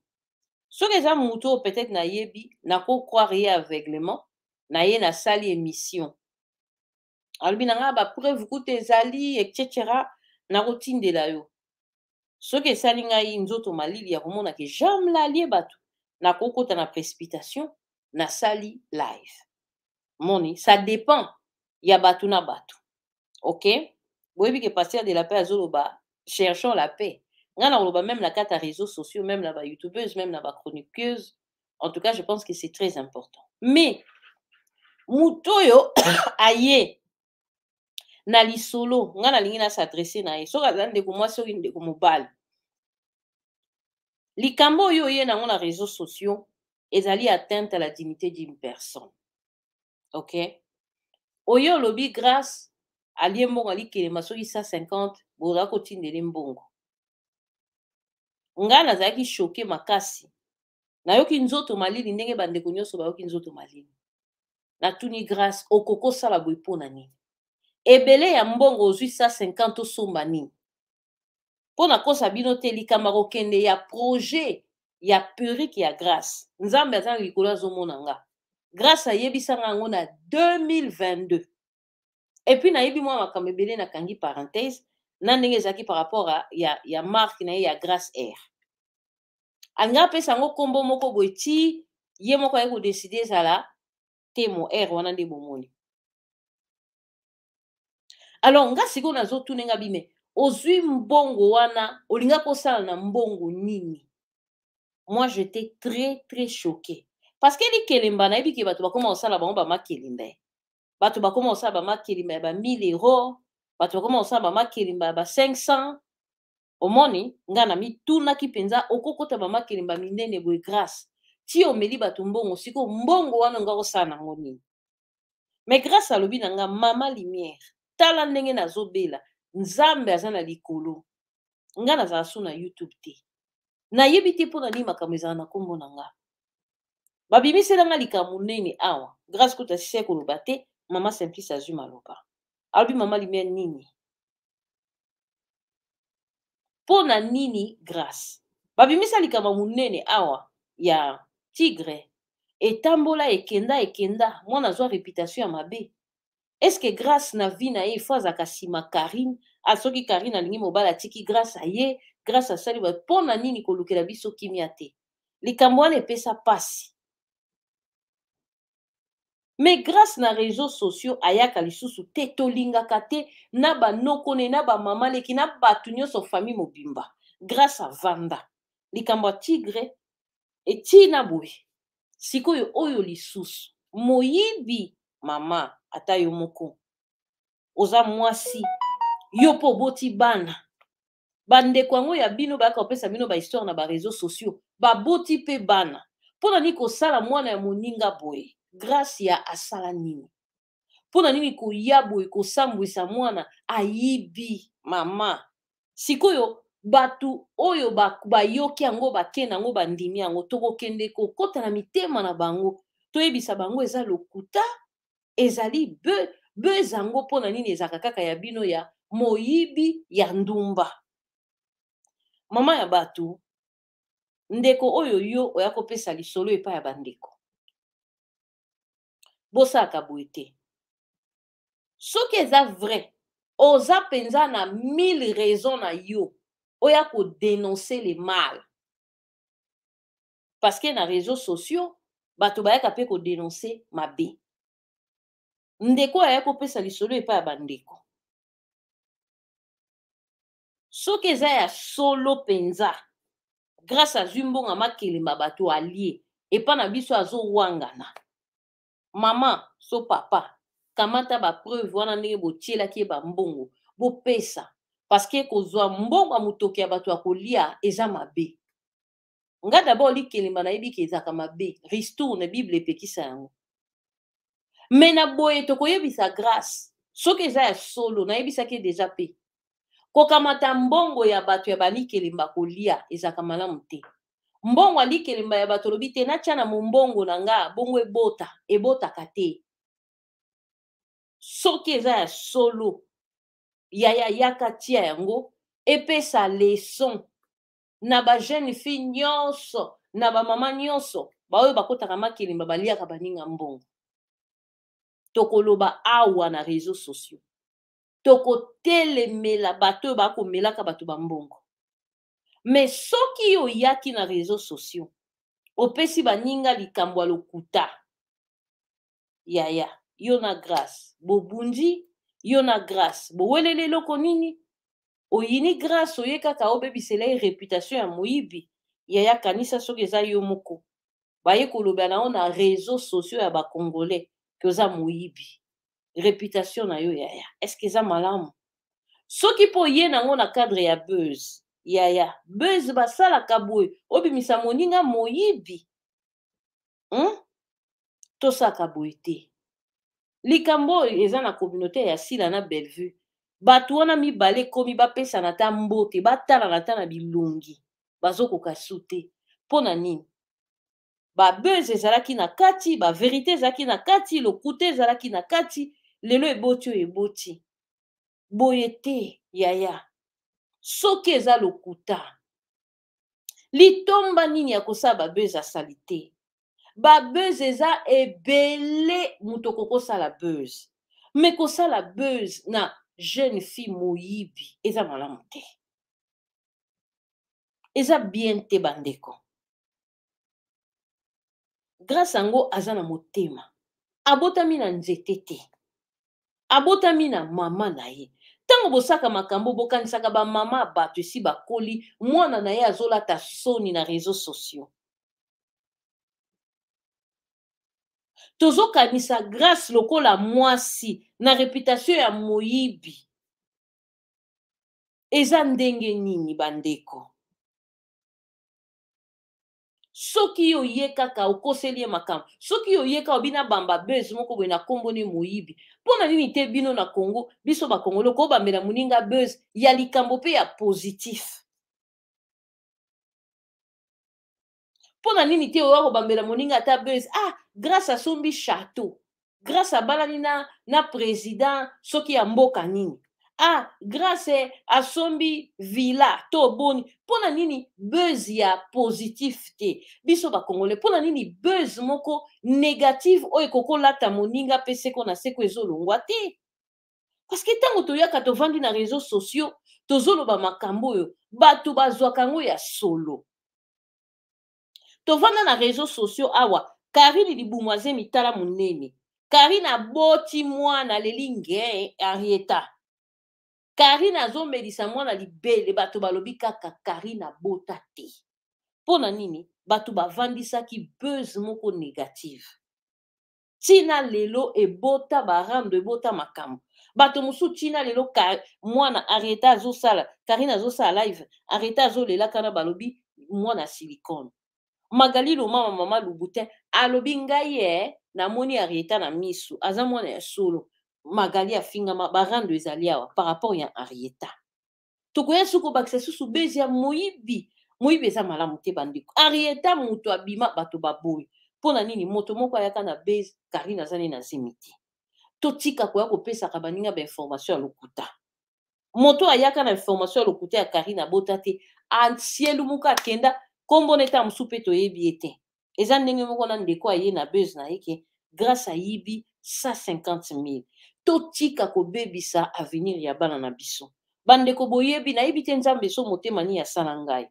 à l'exception des personnes moi j'aime tout le monde soki na sentir kaka ke okopakola ngai nde buzoba impolitesse na kimaka na kiyi ezala carine ezala grâce bana moko baza bandeko na biso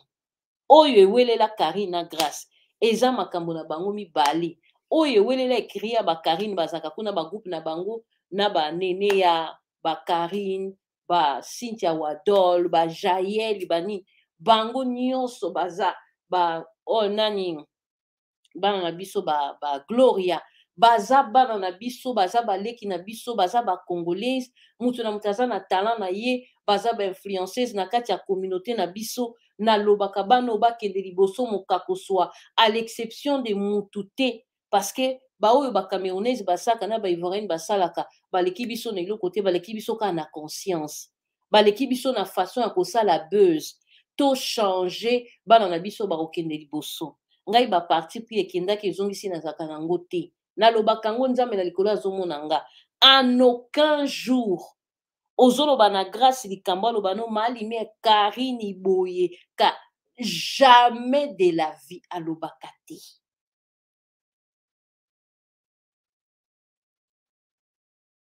en tout cas soki karine asi apesanga mbote nayoka te mpai alobi te o oh, grâce boye ekiti emati en aucun jour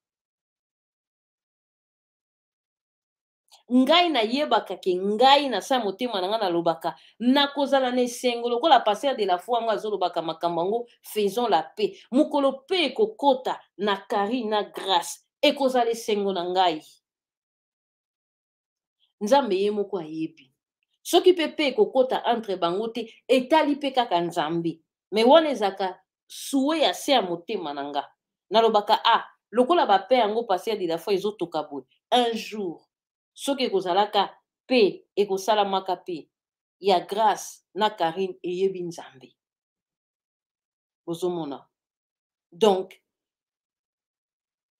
tolinga topelisaka moto te bana na biso tobatela bareputation na bango babebisaka reputation ya mwana no ya mwasi te soki avandeli yo na ndako atuli eza mabe mwana no ya mwasi soki azosala mabe loba na ye lobela ye lobela ye me kaka gratuitement ya kobebisa bareputation ya bana basi boyebi ke na kati ya réseau sociaux ngai nalingaka yango te namona kondire eza bobebisa mboka ozobebisa vi ya bana na yo moko obotisa lokola obwaki soi ekwei likolo na yo moko bandeko babese eza ebele tokosala na kati ya communauté bino mpe bato bayaka kopesa biso bamasolo bopesa biso bamasolo ya vrai boti kopesa bamasolo oyo ekobebisa reputation ya moto mais soki grace ayibi mbongo ya bato tokozonga na kiti kaka oyo navandi tokoya koloba na grace grace tika moyibi grâce mpo na nini oyibi mbongo ya bato bino bana kinshasa bobangaka te ebele ya 150 mille grâce oyibi tokozonga na kiti oyo tokoloba mais en tout cas grâce azwi ata un euro te miriam kuna oyebi bon nakangi kaka monoko bozo comprendre eloko te bamama likelemba yango bakombo na bango banani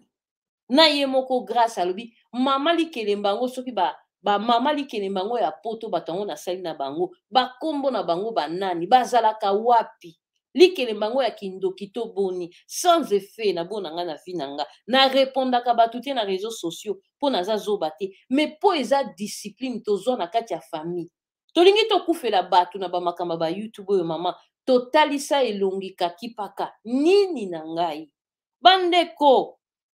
tozala bato na réseau sociaux oyo nga nalingi koloba teke bamama bato me totika soki ozosala mwana motu mabe mama na ye azomona mpasi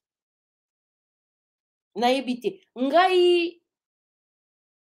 soki mpenza eza grace ayibi tokozonga wa tokolobela grace tika koyiba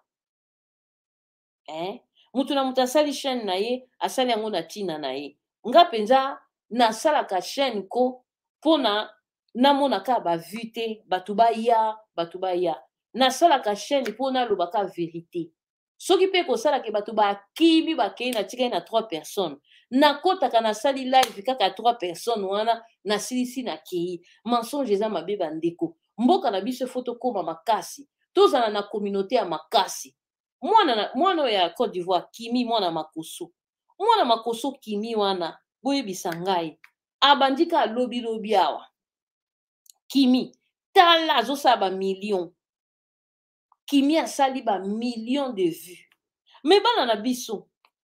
bandeko na biso baleki na biso ba carine ba grace ba fifi siwa ba jael show eh, nani ba cynthia wadol ba pamela shokola ba mwana na biso gloria olangi babanda kosala makambo oyo ya influence na, na, na, na réseaux sociaux kote na biso ya bacongolaise avant kimi avant ba camerounaise ebele avant ba ivoirienne ebele baza bainfluence ezoya biso biso tozalaki na poto ya tovandi tozotala karine azosalaka batele réalité na bagrace ba temo oyo naza na bavideo grace temo nzoto mike karine nzoto mike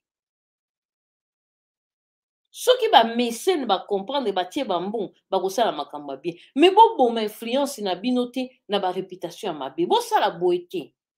c'est-à-dire buzz mpenza bokosala babuzz ya makasi bokosala babuzz ya makasi ya kitoko bosali babuzz ya bien ekei mpenza monde entier buzz sala buzz na nzoto na yo moko na positif bosaka ba buzz na négativité te bozomisisa ba valeur hein? bomoni journée esalamaka soirée esalami ya instagram na soirée ya instagram didi stone azalaki invité d'honneur fali pupa était invité d'honneur mpo na nini parce que na instagram na bango baza na makambo ya mabe te ya négativité te botika kobebisa bareputation na bino moko eza malamu te lelo nde bozomona youtube eza pamba internet eza pamba internet eza pamba te internet eza pamba te didi stone biloko ne nyonso eleki kaka na instagram didi stone lelo star ya makasi na nzela ya instagram bandeko na ngai youtube na yo wana eza plateforme oyo ekomatisa yo okomi mpe international okomi world otamboli na tapis rouge didi stone na television te didi stone ki star na ye kaka na instagram lelo alati linete oyo lobi alati linete oyo lobi alati robe oyo lobi alati robe oyo manike ya instagram emati ekiti lelo didi stone akoma manike ya tapis rouge yo ndenge nini oza na plateforme na yo ozotia babezi ezanga ntina kongo yango tokomata ndenge nini bainfluenceuse na biso bokomata ndenge nini eh? bandeko botika kobebisa eh? bosala influence ya positif bomonaka te oyo soki caviar tala influenceuse oyo ya cote d'ivoire asala amipesi nkombo ya kilo caviar na kati ya show na ye omona atie champagne azomela tala bacontrat bazozwa ya minene ebongo bino bozosala babezi ya moyibi ya ndumba bokozwa bacontrat ya bapiblicité ndenge nini bana mama uti kosala boye ko bino boza bajeune fille bokoki na bino koprogresse bokomi na bambongo ebele boyokana bosala babuse utile bokomata bokozwa bapublicité toza na poto okovanda boye lelo fali akoma na bapublicité ebele bino bokanisi fali ntango abalukaka alakisi balman eza ofele non yango omoni fali abaluki balman aza na contrat ya publicité ya balman ntango fali azolakisa montre wana alataka wana aza na bacontrat asa azwi bino bakombo boye boza na bozosala nde babe eza mabe eh, alo mama alo ma chérie alo eh. en plus eh, bato yango mpe bapesa bango bacontrat bakomi kobanga bango po moto ozomona soki na ye kuna kotyanga na miniati un jour soki makambo esimbi te akobalukela nga akotia nga na miniature po bakofinga ngai bozokimisa bato ya bien pembeni na bino likolo nini ya bareputation bozobebisa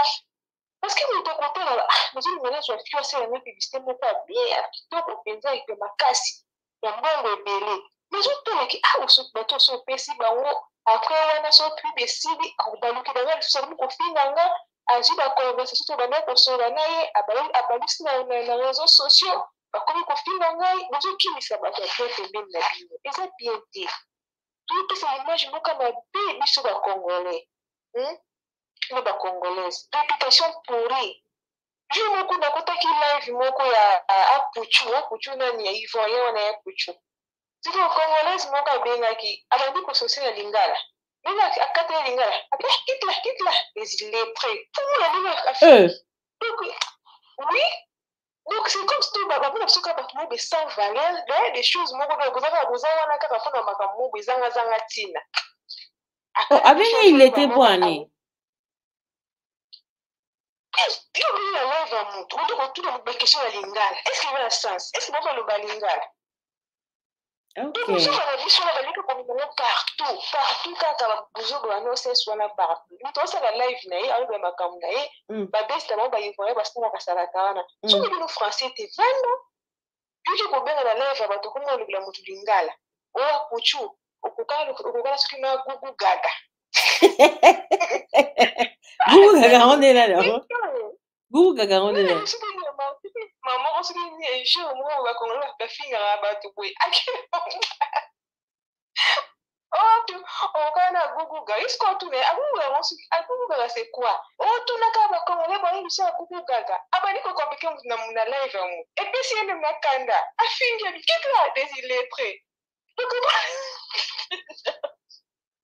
amoni kaka bakongolo mato epona lingala gugaka yango motu donc eza lokola boye no yango bafinga yango terme mo beka bakongolo bafingela yango bato bakalifia yango motu kende zimoyo oza mabe donc mwa bilo moka ya bongo tala niveau mpe na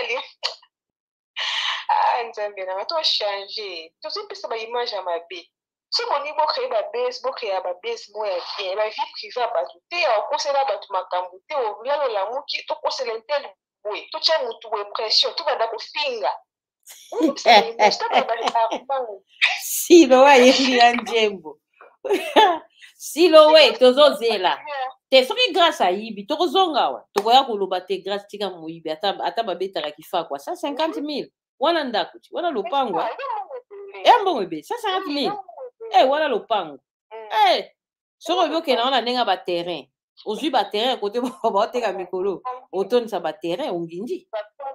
ba 3000 3000 wana ozwi baterrain ti wana blague te te antivaleur moto yango te moto yango obetela yango maboko aza te soki grace abeti fakwa tokozonga awa mm. tokoloba na grace okoyiba bato boye te eh. mm. ofilme yango tomoni na bapreuve te mm. tokofinga moto te tokokondane moto te sans preuve donc c'est ça to ba makambu sayo nde tozo monela makambu tant que tomoni ba preuve te ba audio ebimi te eloko te eloko moko ezo lakisa te ke grace ayibi toko finga mutu te kaka po tobandi ko finga mutu na likambu oyo mutu ayebi te biso biso moko tomoni pe ba preuve te eloko te parce que na communaute na biso tomoni makambu ebele conscience mpenza ke oyo likambo oyo ebimi kaka mbala moko mpo obandi kofinga mpoza kaka motu mpoza kanda ya motu tolika ya motu wana te tolika kobebisa image ya motu nde oya na bapression ya bongo me motu oza na bwanya oluka nano ovanda oyo etudie nano nini situation wana so omoni ke eza ya solo to ya lokuta okoya okolobela yango eno ya kofinga to ya kodenigre motu kokalifie motu bala moke eza moyibi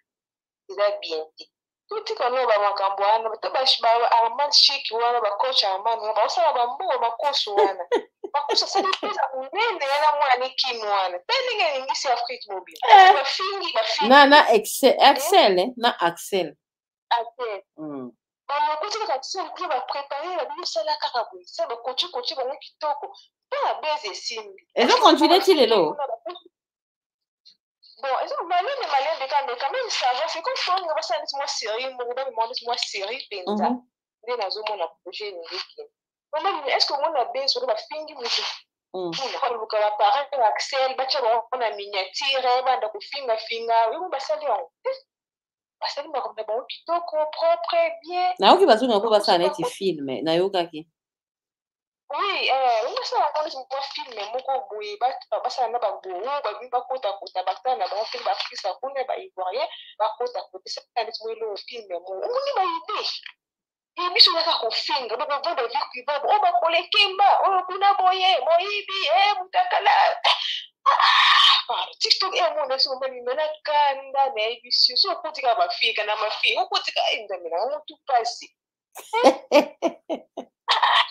jamla jamla hey, eh, jamla azomona mpasi kuna okosengela ngai respect jamla omona mpasi okosengela ngai respect ti okolemba donc c'est comme ça eza eza comment eza digne eza ligne éditoriale na pona ozomona eza eza eloko na pona na vie oyebi réseau sociaux ezalaka soki eloko ya arrange moto moto asepela betelo maboko soki eloko ya arrange ye te afingi yo abloke yo donc toyebi deja ndenge ekendaka là je sais eh, manque à- eh, ko- komona kutu mpasi te o respect pour mama lumière vanda na yo mama kozela yango te baoyo bakorespecte barespecte baoyo bakorespecte te ngai nazalaka na ngai kaka mpona koloba verité esi naloba donc bato bazalaka so batomboki bakei bapesi ngai bizu bai natikali ngai moko nafungoli youtube nalobi nalobi nalobi nakangi 4 5 personnes baye batali donc eh, nasala yango mpona voilà pour la communauté nazala na souci ya communauté bato bakende liboso c'est un peu ça grâce m'a dit que en tout cas eza yango te mais soki bandeko baza na preuve ya pas de problème bazwi na bango batie on va dire à grâce d'arrêter le moyibi mais soki grâce ayibi te tokoloba na bandeko oyo eza mpe kobebisela motu eh, réputation na ye donc c'est un peu ça mais pas ni moni azo luka ta soigner image toza bato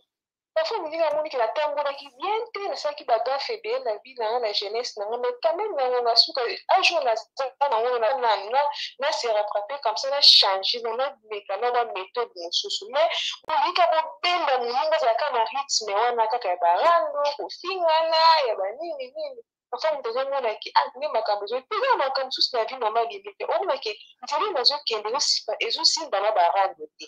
ezosimba na bafin te ezosimba na babese inutile te mpo na soigne image mpo to naokende baplace ape bato baconsidere nga bazwa ngai mais bato mosusu bazo comprendre te ozomona soki avandeli vie ya bavie privé ya moto bandi kofinga bandi kofinga bamama ya bato bapapa ya bato bandi koyebisa makambo ya kala ya fami ya bato omoni yo nde elombe ganga oyebi te ozokingisa bato parce que bahomme responsable bazotala yo bazona yo moto oyemelaki ah nayelinga na ye napesa fio asala nanga pub asala nanga promotion tosua mbongo ebele nazo raisonne akoso kopesi ye opesi ye boye akobalukela nga te apres wana soki promotion esili akofinga ngai te nakokota miniatire te naza koluka vie prive na ngai mwasi na ngai bana na ngai makambo na ngai ati bandi kofi e pardon bandi natika parfois toke akeluka na ivoirien moko boye apesi ye ma ivoirien akoloba te ke oza kampa na congolais mais aosala nde kaka pide abongi bino esefe donc soki bandeko balakosi wana bacoach armand wana bazolaka bacontrat ya bandeko esu bacongolais bosi moko to motu moko boye amoniki alake nango bakoca yango to ebongo rezo soso ezala na mbili ya moko akomeli wana komone nani safu mm. safu abi mama ya fone boni bilobela boni bilobela boye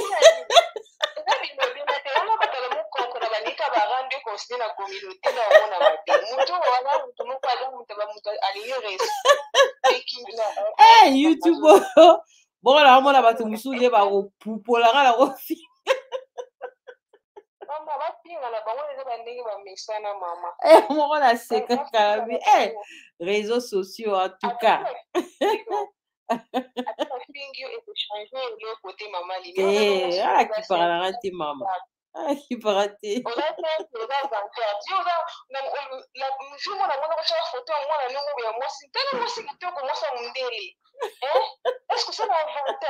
solaki bato mosusu oza na mwana mondele mwana mobala mondele mbongo okamati bafoto ma omamekili biso eske osala yango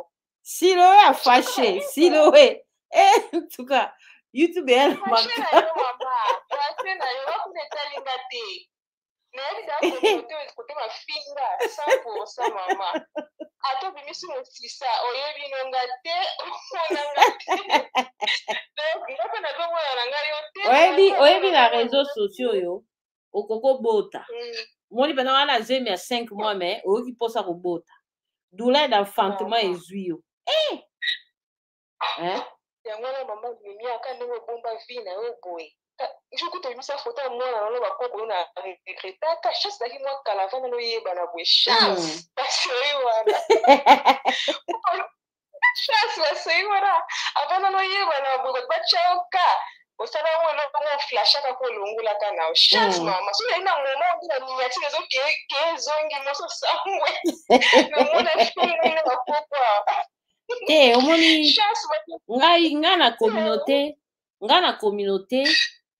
na mm. naza na ndenge na nga bandeko mpe baza na ndenge na bango en tout cas chacun est libre hein? Mm. azosala makambo alingi na communauté omoni donc eza lokola jambe la soki avandi boye abi te jambe la aza boye boye mama lumière eza sujet bapesi nga oyo oh, kuna mpe apesi sujet mosusu mais grâce alobi eza bongo te bandeko balobi eza bongo donc voilà bakotia bavoice mm. tokokanga grâce lokuta otoba e eh, grâce oyo oh, yo te yo moto ozoloba donc ah c'est un peu ça bapreuve ozo tokosenga bapreuve sans bapreuve tokondima te otika bakosa ya grande mark nga mpenza na ndimi nanga makambo te nga ndebi makambo ebimaki mama lumière eza te ke parceke naza soki temolor soki nini kutu mpo na bongo te ntango ebimaki kuta nayaki vraimen te ke souci adresse poni asali boye nini nakata ah eza makambo oka ba mpo tomoni makambo ebele mama lina na réseau sociaux mpo na ondimele likambo mbala moko ekomi nde mpasi Eh, omona tomoni bafilme réseau sociaux bakomemo likambo nde eza verite hein. Eh, pardon yango omoni ke to mpima ekoki omoni te ke bato ebele basala na bango balife te concernant makambo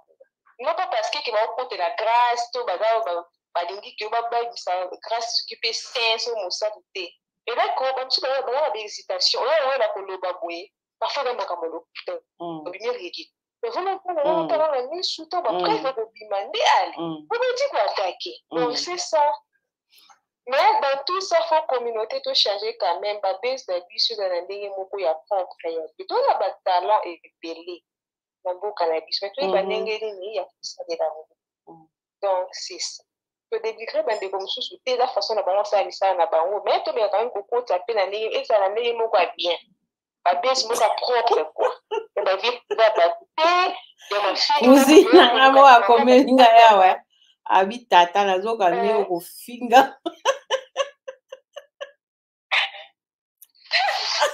ozofinga na mama lilia mama lilia wana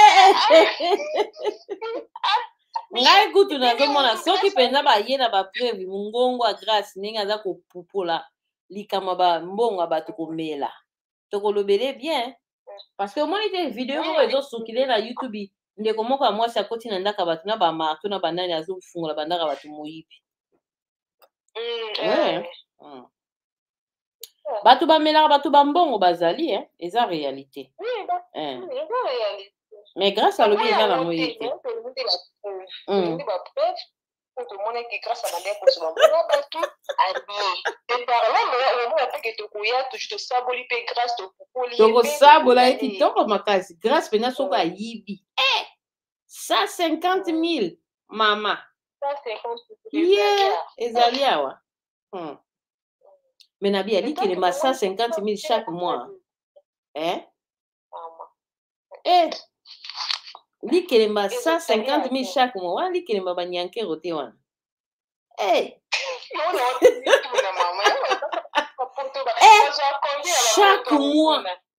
mutu eh? moko ezolia 150 mille boza bato ya likelembe eh? boza bato ya kotia mbongo eh! eh! bosali yango na ide nini bosomba mapango eh! boza bato ya mbongo pardon basala bafongola babusiness na poto peut-être po oyo eh, eh, pardon eh. me tokokamwa ndenge nini mama leke alor kutu awa amelaki bato bakotaki makambo ya bambongo awa ah, ba ezongisi esali bo eh?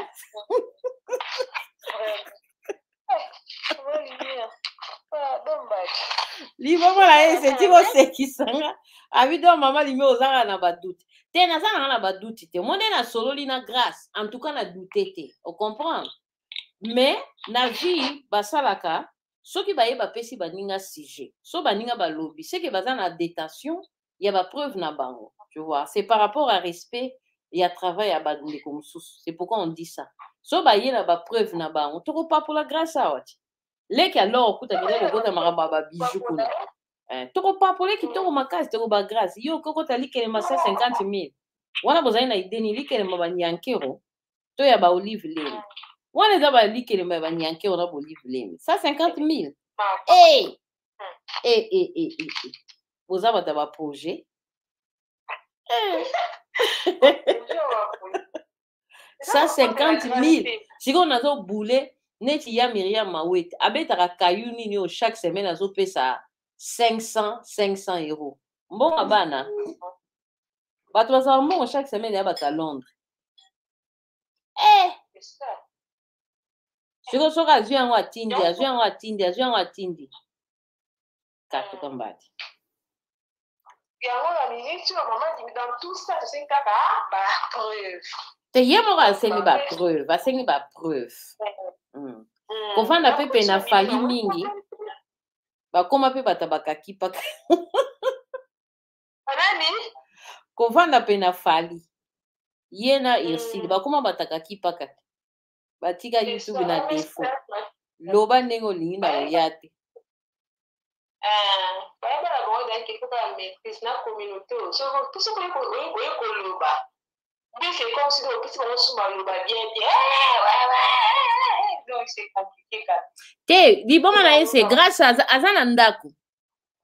aza na epa na bango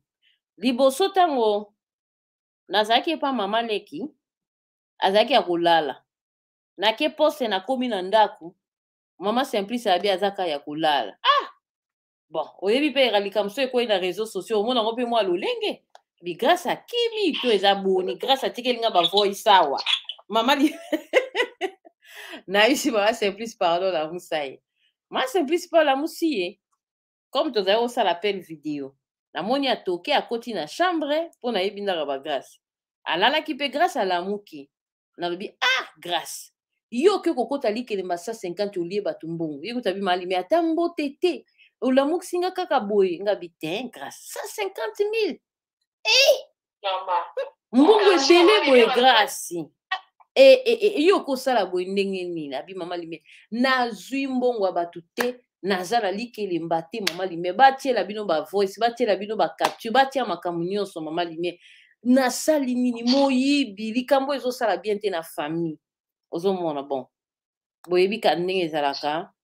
mama simplisa bato mm. otika boye ko bandeko mama na grace aza bien te e hey, yaya mwana youtube moko mosusu bolobi na famille mo likambo boye tolamuki omona famille mobimba ekei na émotion mm. eza eza coup dur hein? mm. eza vraiment makambo ya solo vraiment vraiment te parce que mm. kote mosusu toyoki o oh, grâce akima ndako na bango abatama me mpa na ozoloba ke bosololi na pele video te apele video grâce aza na chambre na ye mpenza boye alali aobela ngai nayebi ke grâce ah. azobela lobi biso tozosala live ya nani ya babellevue makambo ya babellevue yo ah eh. donc natika namonaki te ntango nasisi mwana moko azobetela ngai baproblème na ye azobeta kutu nazolalalala boyebi kanei eza solala retard ozolamuke mami mami mosala namoni ka nde mabe ya sibeke nazokoma me mama limere ozokipe te namonaka nga ah, nauta nsima comme efaki nakende mbango mpa bakanga poste nazwa baperike yango ya ye grace nde nake kuna nakuti mama ba mama leki na bango nde azoloba abi mama mama limere likambo oyo likambo oyo nini likambo oyo ya grace hein? tokoloba mpe boni eza pasi ba ndeko mm. moyibi oyebi moyibi eza moyibi eza kitoko te na mwana mwasi bato ebele omoni boye bazwi mpe eza ya solo omoni moyibi oleka nzelani etikali ye ekangi yo na nzoto eloko ya moyibi oyo eza mawa soki eza ya solo tokolobela grâce soki eza lokuta bandeko pardon bese ya moyibi te ezo eshokaka se se eza kitoko te bese ya moyibi bese ya moyibi eza bien te aza ndeko na biso ya mwasi dabord bese okutu nano basalaki ya tigre wana abimaka na tigre boye na boye ezalaki bese moko ezalaki kitoko te me mpo kaka azwa decision ya kobima na ye te na youtube ata bafingi ndenge nini ye moko presence na ye bima eloba boye te parceke aza mpe mutu aza mpe na mutu na ye na sheri na ye akolinga eso na bayoutube ekitaki emataki ezongaki te ozomona me ata ngai oso navandi babami nga kaka moyibi oyebi shok ekozwa fami na yo eh,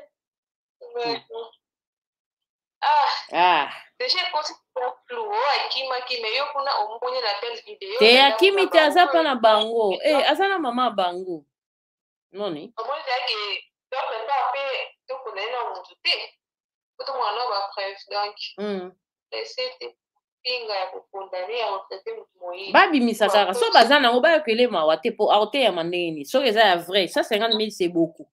en tout cas soki ezalaki 5 500 euro tokaki koloba ah, te botika kaka mais soki eza 150 000 te il faut kotia bato nyonso babimisa bapreuve na wana bodio na bango awa toloba na communauté topesa conseil ata tofingi tofingi na suka esuka kaka conseil na, na grâce mpe pareil exception ezala te grâce mpe bapreuve na ye bima ba capture ba audio na ye ebima après na suka nango eh, mafinga ekolekaleka nango me ngai nafingaka te me na suka toloba kaka ke boyokana bofuta boye boye boye boye me fo toloba na grâce moyibi atika 150 000 eh. hmm. merci mwana maman merci beaucoup voilà bon bakwetu bayaya je pense que eloko na ngai naloba silo yo likambo nini na ndeko na telefone sikoyo karine aza na bapreuve nyonso mama lumière ndenge balobi bavoice eza yango wana nde liboma na esi ngai nazoloba batia ekozala bien toloba na grace tika likambo oyo ya koyiba moni nalobaki yango bien na debut akoko zala pe epa na nga alobi verite te à se défendre moni mais sikoyo eloko ekosukisa ye kaka eza ba preuve na ye parce que so batie ba preuve na ye yeyo azoloba bato alikelimba yeyo akoloba na nga suni mama limia na kosi akoloba te akoloba te akoloba na mutu te biso so tokoloba na ye ba preuve yango oyo grâce mpo na nini osali boye mpo na nini osali boye après tokoloba na ye aluka solution comment maintenant bakoleka par koregle problème yango mpo likambo nyonso ya soko ekwei ata bobundi bofingi bofingi bofingi na suka ifo ezala sikoyo comment réparer parce que mbongo ya bato 150 mille soki azwi yango ya solo ah il faut sikoyo atala ndenge nini akorembourse soki aza nango na maboko arembourse soki aza nango ndambo arembourse soki asombelaki yango baterrain ateki baterrain azongiseli bango mbongo na bango tokoloba ne olokima luka terrain ya négociation bo négocier botala nde nini bokosala parce que na leta mpe soki oyibi eloko ya motu bakokango kaka après bokoyokana kaka okosigne euh, mikanda comment modalité ya kofuta sorry c'est ce qu'on va dire mais nalingi ezala sujet d'attaque te nalingi ezala sujet d'incompréhension te nalingi juste ezala kaka tolingi ndenge tolobaka tomema grace devant fait accompli ye alobi ke azwi yango te ayebi likambo wana te peut-être eza grace dema ou bien grace timo bandeko bakombo ekokanaka ou bien eza ye te bato bakanisi kaka grace eza ye alors soki eza ye tokoloba ne grace owanganaki mpo na nini soki eza ye te tokoloba kaka peut-être eza confusion ou bien ndeko oyo ayaki sa sango sa salibeuse. donc voilà c'est un peu ça je sais que c'est un sujet si moins compliqué je suis contre personne je soutiens personne On est au traité totretaka bah, sujet n'y na pas de réseaux sociaux c'est comme ça aussi traité aussi sujet à grâce ça allait être pareil soki ezalaki siloué soki ezalaki ruru soki ezalaki n'importe qui ok donc voilà c'est un peu ça nayebi ke nakozwa charge ya mafinga grâce euh, ne va jamais avouer maman lumière ndimela biso ke grâce aza faku non on va pas kondima comme ça di nana na nga la belle tondima kaka boye grâce aza fakwa te oyebi eloko so bavoice eza eza eloko alikelemba baza kosala échange ya ba conversation ndenge toyoki baza ba virement ezali batia yango ozo comprendre tozala bande te tozala juste soki ata bazwi yo balobi ke eza yo oza moyibi yaya ebambi yo monene boye na kati ya réseau sociaux eza somo moni eza somo soki vraiment ayibi tokoloba ne azongisa topesi conseil soki eza bongo te tokoloba na ndeko aye kopesa bandeko na biso euh, lisolo na kati ya réseaux sociaux il falaki atala nkombo bien ta mosusu ezalaki nkombo ya grace temo te ya moni grace temo eza lokola motu moko ayoki, ayoki bavoice moko boye bazoba hey, eh, mama lumière mama lumière akoya nango mpe mbango na réseaux sociaux bato mpe bakoti ah, mama lumière mama lumière ale ntango bato baya kotala boye ah eza mama lumière oui mais eza ya ngai te eza mama limia mosusu ça peut être possible aussi liboma esa sosika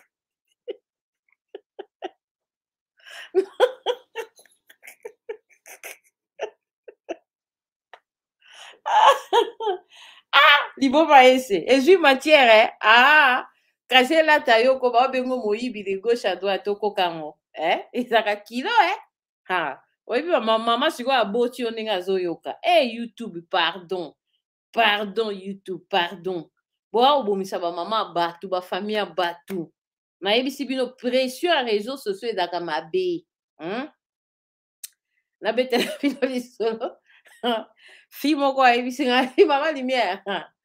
tozobunda na mobali na ngai kaka abeti ngai likofi moko mpenza kote ya mashware abi mama limia na oki lokola cerveau eningani nayebisi ye kaka zela nakotina video na youtube nakotina ngo epa bakroni mama abi mama limia mobali na nga kati kobeta nga mbala moko azoloba bi e eh, mwana mama oza mwasi na nga litomba nini mobali no asambwa bakroni mama na bazala bandoki bana basi wana so bazwi likambo no na youtube mama okosambwa bakobimisa mama na nga bakobimisa papa na ngai pardon bakobimisa baleki na ngai nyonso bakofinga biso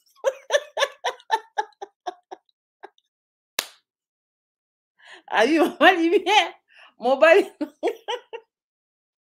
alapa kobeta abi lobi nango azoloba bi e eh, abi donc bino bamama wana baya wana bakoni mama wana nde bakoma opesa bino motu makasi elongo baassistant social ekomi bakoni mama alobi nakopesa mpa maa lumière abi surtout maa lumière wana atikaka likambo te abi mama lumière mobali nanga alobi mama lumière wana atikaka likambo te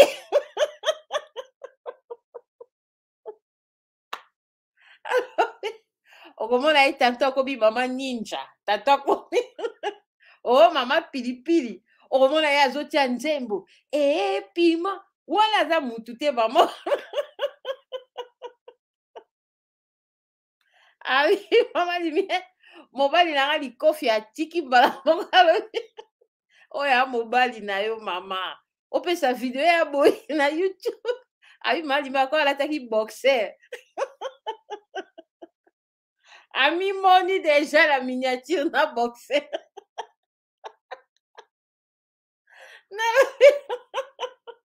nabi tongaki tokotye kitoko tongaki tozume tozume boxe Hey, eh, pardon youtube eya mosala ya mpasi binemi ya ofele okokoma na benemi mare moko akotaki eh. napesi ye mbote mama wana alobi ma lumière nakoti mpo eza makambo ya basila na babelfi me na serie ya makambo ya songolo pakala nablokaki yo mpena nabloke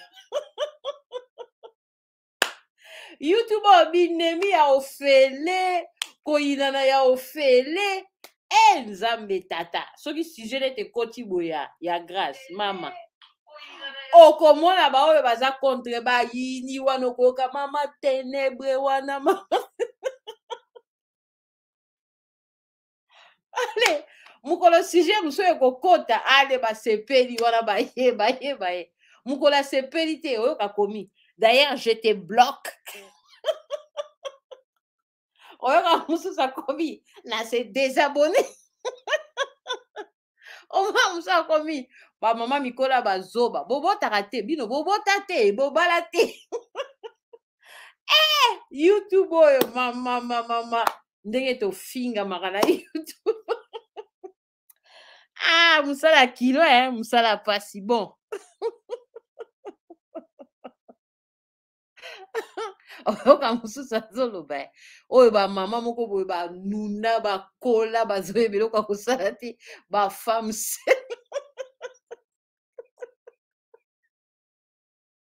mokolo sujet mokolo sujet ekota ya motu nde alingaka yoka en tout cas mama oza mwasi ya mayele oza mwasi ya soki sujet ekoti mosusu omona mwasi moko aloba ma lumière nga bazwa kaka capture bazwa capture na nga mama lumière na bela diare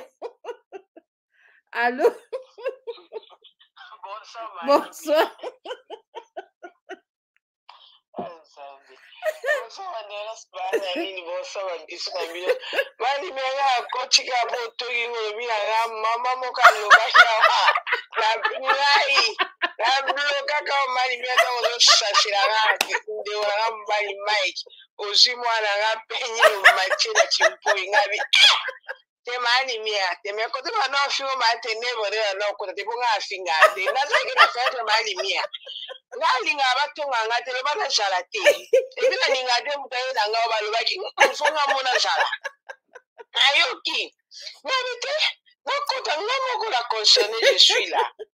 je te bloque wana obaki ni je te bloque nabi na bloke mani me moto ezobe mani me mpona ozosala boye soki osali na nzembo mani me na lisusu awadi atie ngakula mposala kufa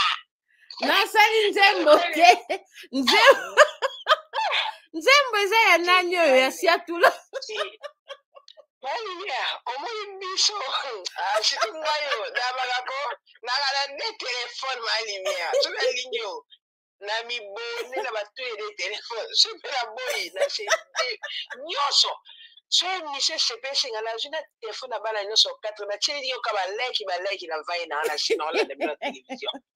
soki bopesi nga motu hmm, nalongona nga neti olongona nga makambo eh, omwete mokona na kote na ma lumière naza bana na nga misato na réseau sociaux nayebisaki yo nini grace ah. demo n'est ce pas ma lumière ah. mais babi mwana no grace te momoyibi awa ta likambo monene mpe grace te moyibi yo olobi nini na likambo ya grace te momoyibi mama limia eza lokuta nandimaki yango nabaki se faux archifaux wana mm. eza bahistoire affaire dermide doibu eza histoire moko ya faire dormir mais franchement ako bandeko bandeko boyaka na bahistoire botika bokoboma bamama ya bato likaba moyibi oyo ezosala mpasi batika mali mie nalobaki yango nakota kaka na chaine oyo nalobi nalobi na bimasi ozala bana ya misato ozwi limiere ozwi nani grace temo ozwi peniel na nani rit misamu je me fille rit misamu kutu abimisi marke na ye félicitation yakaso na bakibisi marke na ye mpo na sabona bee na bapage ya bana naza so nalingi bango na sabona na bapage na bango nyonso ntango bakoti bla bango ceke nga mpe nakoti na tele natyela bana ta bavie e tozo zoko parce que toza baparent toa na bana nga na bana na lycée na bana basi mobali kaka moko basi mpo anite tolinga bana baninga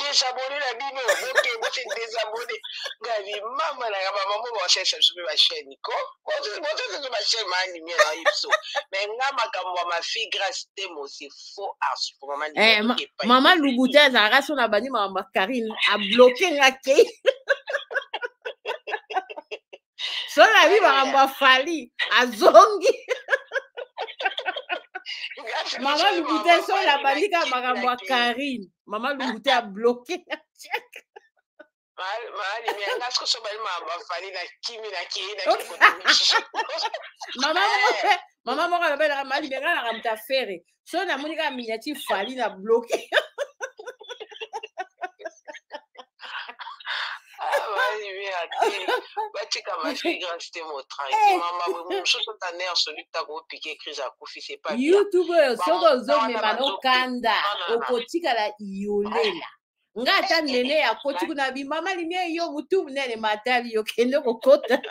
omona lobi kuna nene ya oya ma limie mutu na nga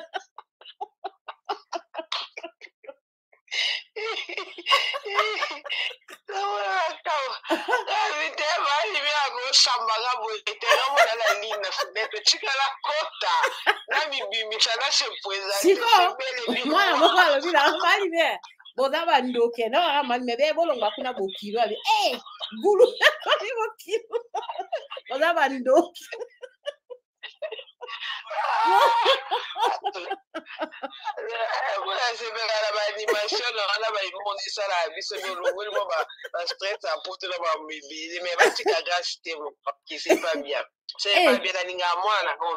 mama la grâce yango yango kwa ndoto abi yango malime bino na réseau sociaux bolalaka boloti likambo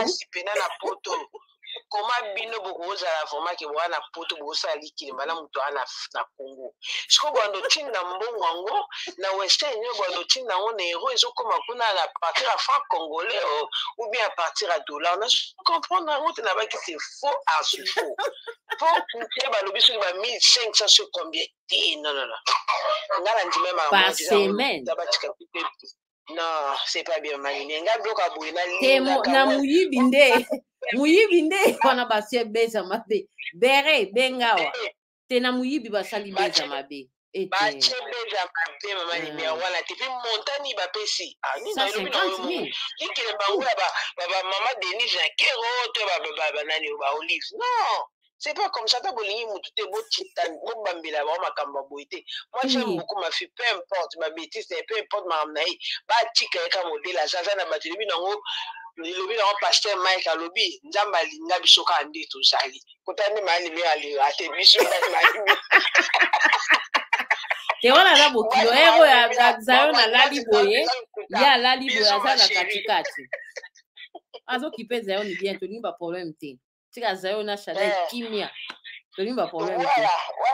wana kokola biso wana ah. kokola biso mais eza bakoko mama wana bena masamo mene baa bakoko baza très bien mais batika biloko batika grace ya tranquille ndenge aza vandi na kwene osala makambo na ye na masolo na ye baluka mama mosusu mai boye te kokoma mpe na niveau ti ya kofinga na mama grace non batika bamama tranquille koya mo barespecta mpe baparent bato soki mwana asali betise oyo atake mwana baparent bayolukani na masolo se pa bia bere ozoseka kuna mpe mama dina na dina na la belle alobi ntango bazali kofinga karina bato bazali kosepela dina na okolimbisa bango te e eh, dina na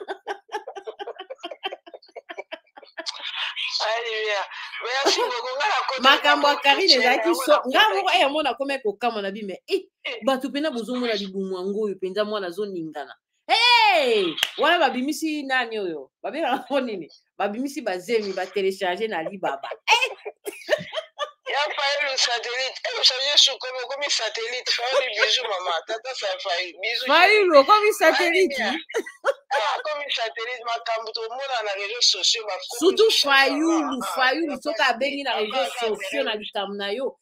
fayulu akobotisa mutu fayulu oyo fayulu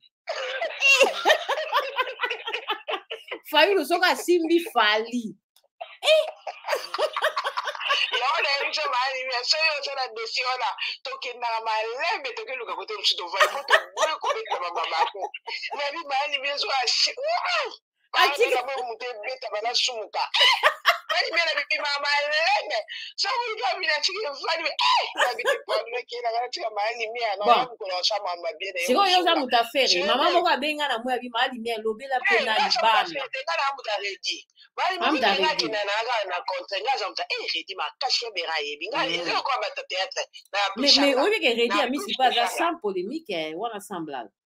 Sala. Eh. Nga ninga redi. Depuis banda nazalaka na kini redi na banda osomba ba musique ya redi nga ka redi. En tout cas, songi songi numéro 00 ya réseaux sociaux eza fayulu. Fayulu soki aboyi moto. epi ye alobaka makambo alobi to basala makambo ye azala na milio wana azala na sa mesa ayebaka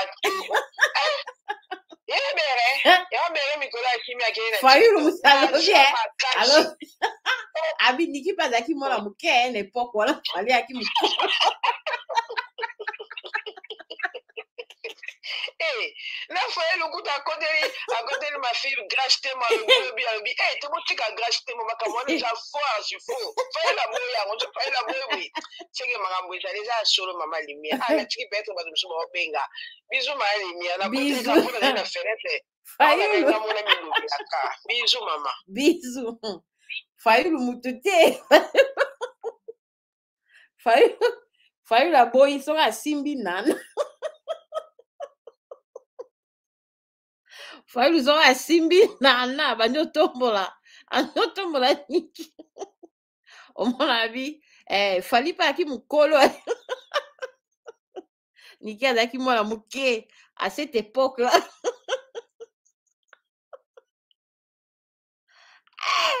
fayulu fayulu na de na kodefendre aza somo youtube oyo bikende bizonga alo mama lubutan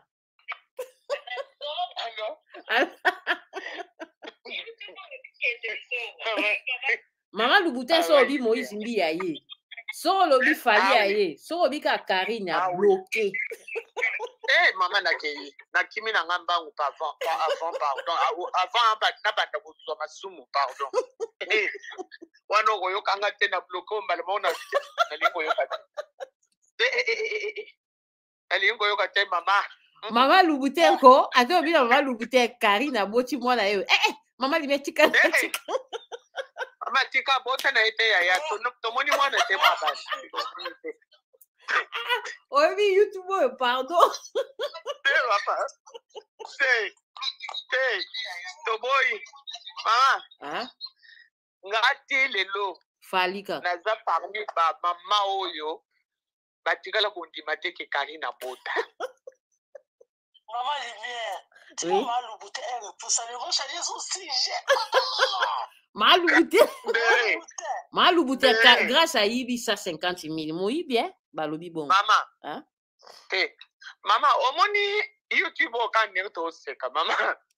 pepepepe bakongole basomo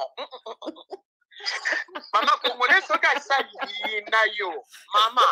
oyebi pourkui nandimi likambo wana te namoni yango normalement nalandaka bato wana te omoni bato oyo bazalaka toujours na dossier ya grace mama oyebi ntango namoni kaka ewuti ka kote wana nga bio oh, babandi lisusu na mwana bato mama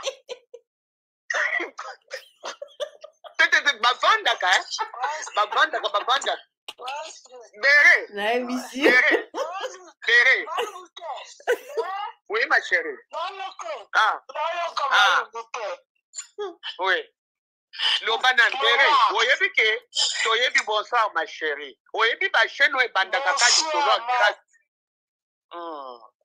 oyebi badosie wana bato oyo basheno babandaka lisolo ka grace mbala moko na lobi oyo bafo mama wana nga kutu ah, nanu na verifie te ke eza solo lokuta me deja koyebaka bashene wana soki basi baye na nkombo ya grace mama ondire bavandaka chaque six mois il faut bacreye eloko sept mois il faut bacreye eloko na nkombo ya grace oyebi pourkoi mama omoni grâce aza fille moko afi moko amifandele na ka ndenge outi koloba yango na bengi kakipaka kokolo lokola na bie eh, bato bakóma na fali bakóma kolanda makambo bafali ezala ursile oh. kakipaka grâce kakipaka mami mais atuka biso tu bato tolandaka fali oyebi ke nga mpe nakoma mafutise na vie na niveau moko oboya emwana na eh. kaka ah. bon mama lubuta akoti na live na tiktok alobi e bon nayosela ah. bino na story mpo bazosignale live na mama oyebi e mama lumière tangu na signale na oya live mama nakoti ka boye même pas 45 minutes Hein? babloke Na- nalobi kutu 45 minutes kutu ebele mama Babloke yo. Cinq minutes. babloke namonaka alobi oh nakendeli bino na story bozo Ah, nayebisi bango bon lokola bozo signale live na ngai lokola bolinga verite te nakosala esiko ata ji video na osala bongo sikoyo azosala soko alobi alobi akati twi atindiki natindiki ango ango nayebisi yo nazolanda ngo na karami bapanzi ma chérie ma chérie tunanga nini be tunanga na bibo ngai ata lokola bosignale live na nga ngai nakosala bino kaka bavideo bokoyoka nga bien boyoka epuis nalobi eh, nakosi ah, sikoyo oyebi mama lubuta azala koloba azala koloba atala boye esi bablokaki abi e eh, babloke nga ah. mama yoka yoka sikoyo na moma na moma oyo ti obomba oza kolanda na ordinateur ou bien na tablette te naolanda yango na telefone na ngai ya iphone iphone 14 plus ma chérie hmm. nalobi ata ndenge nini ngai nakosala bavideo ata 10 nakoposte bokoyoka mm. bokoyoka parce que omoni congolais alinga verité te ozo comprendre ah sikoyo ah. na lage na nga wana nazalaki na omoi na 39 personnes et puis la plupart bazalaki ka ba warrior ka ba warrior bakoti sikoyo ba sans warrior wana nde bafandi na fenetre bazosignale live epuis ti so bazolakisanga te basignale live zonga dans 27 minutes mama nakomi kokonte baminute na bite namoni azobamba kobanda kobamba bavideo sikoyo eloko ekamwisanga e eh. yo sikoyo ozoya kosignale motu kwani ah, j'ai essayé au moins trois fois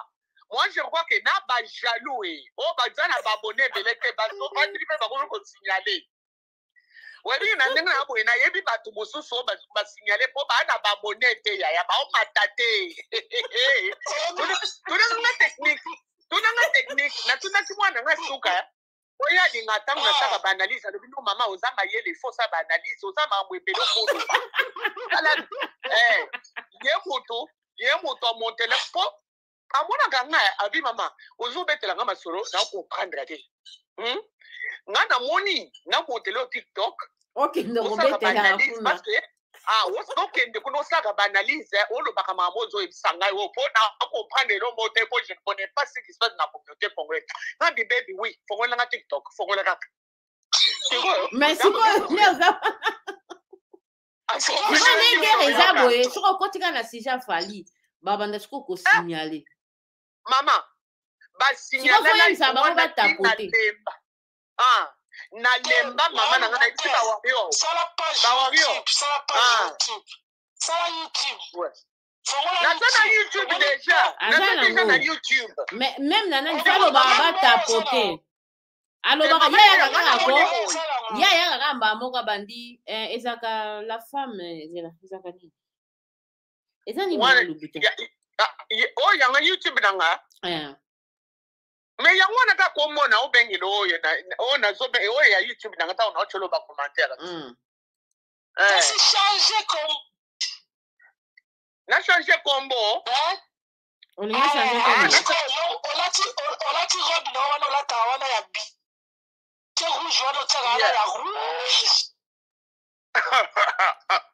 ma chérie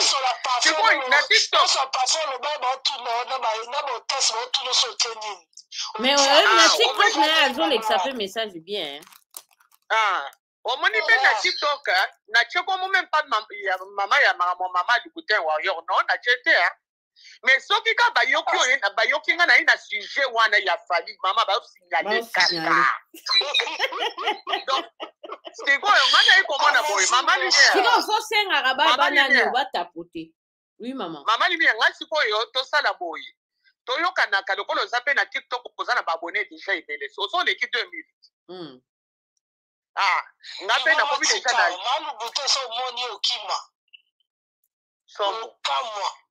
mwasi kitoko Ah, aza wa somo bosaka abi somo ah ma chérie nakomi nakomi na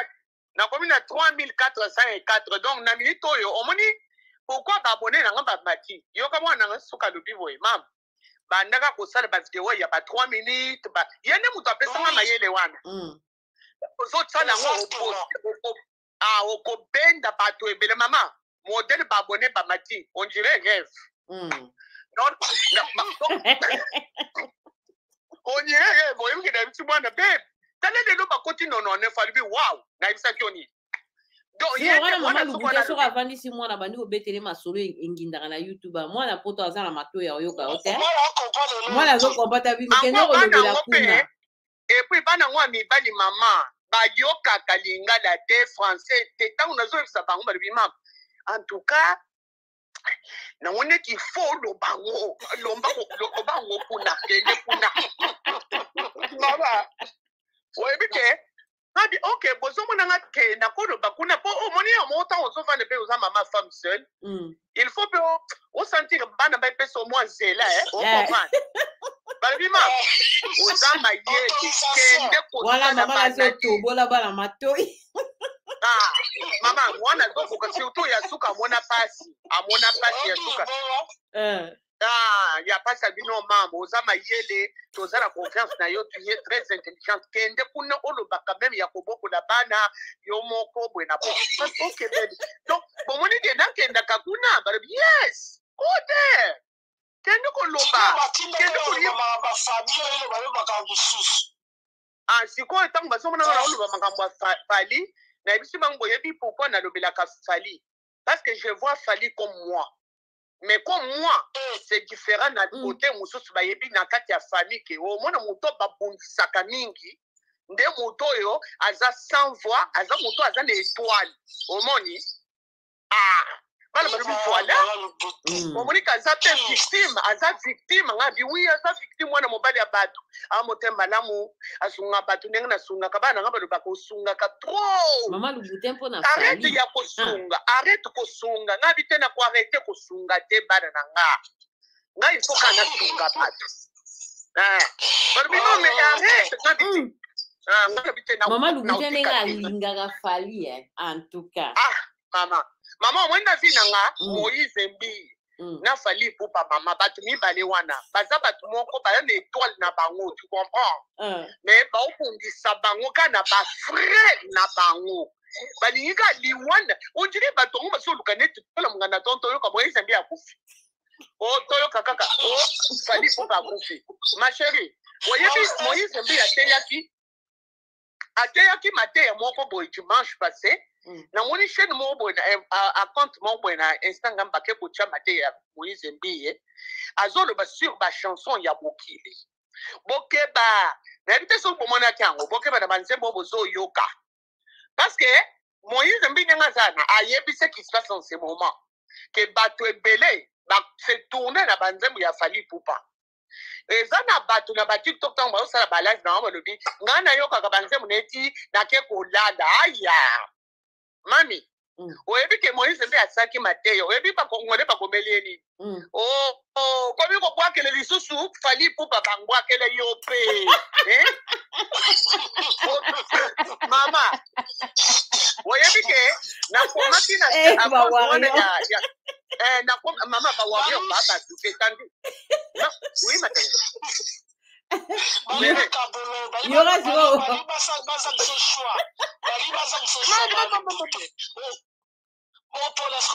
Opola nani? Oyebi na bere oyebi na lobi te moïse mbi ya luka mbere na lobi moïse mbi ya luka ba problème na ba wario te mama modèle jima lelo jima eza wapi mama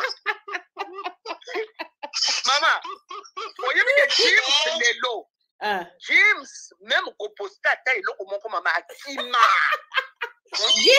james akomi alobeta masolo ya pyramide eh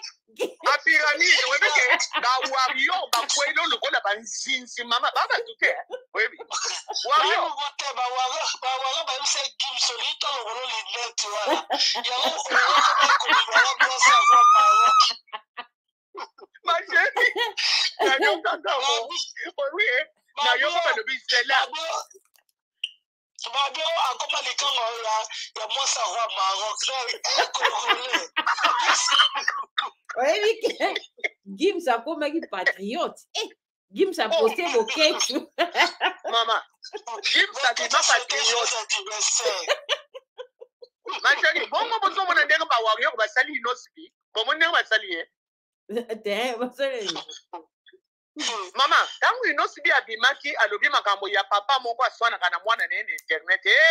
yesu mama boyebiki bawaki yoko basali neti bainfecte donc bakoti ntina mindele na bajournaliste ya tele 24 soki tv 25 soki tv 5 mama mama oyebi hmm. ke namonaki mokolo wana mwana wana asaki emission wana azalaki pembe nani naweli ko baba ayindi mama hier hier namoni epa mastor bachaine na biso ba warrior ya youtube oyo todefandaka efali eh. pupa to nanga nini namona mm. boye mastor alobi bomoni ndenge akondi asili mopepe ayindi na koyinda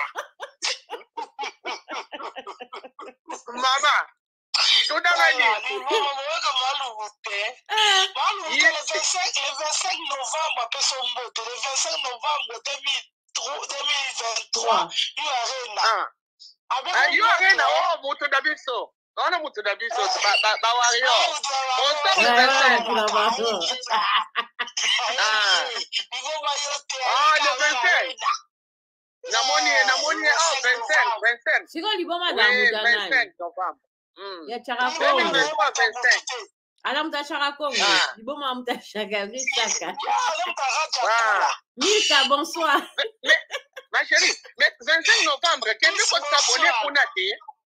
parce que soki baza ebele ta- mama lumière na ngai naloba eloko moko Ah, lokola yo oza na tiktok soki Mm. oza na basujet ya fali okomeli nga message oyo obengi nga olobi Mm. tokota comme ça bawarrior nyonso bakoya Mm. ebele moyen bato ba- batapote batapote wana soki kotapote soki tapote mama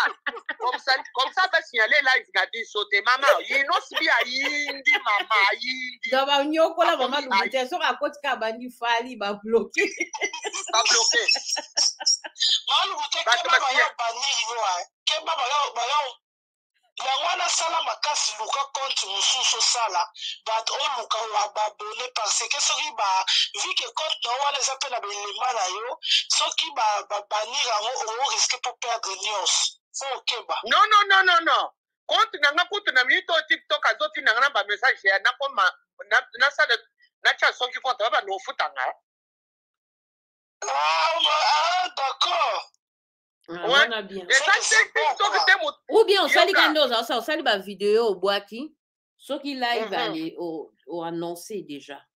voilà Non, soki je- na- je- soki je- soki je- yo na nga soki yo na nga toyokani toponi mokolo tokosala live Mm. comme ça ba baabone na ya ngai na baabone ya yo baye ntango Mm. tozolobela fali Mm, wana tokoti na ba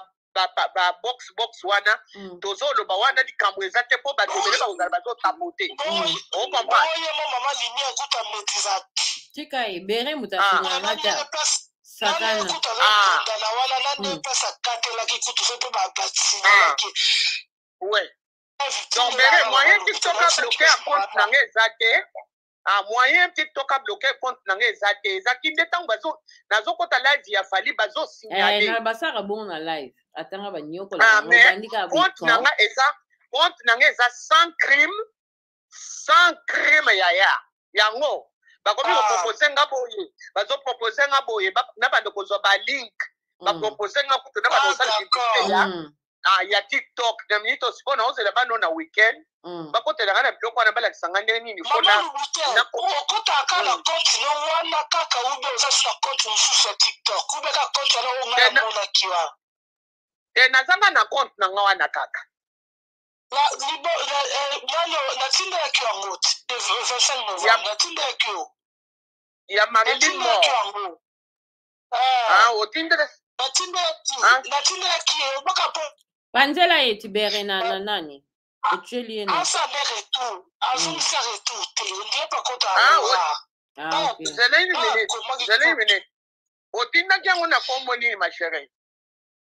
akomela yo akomela yo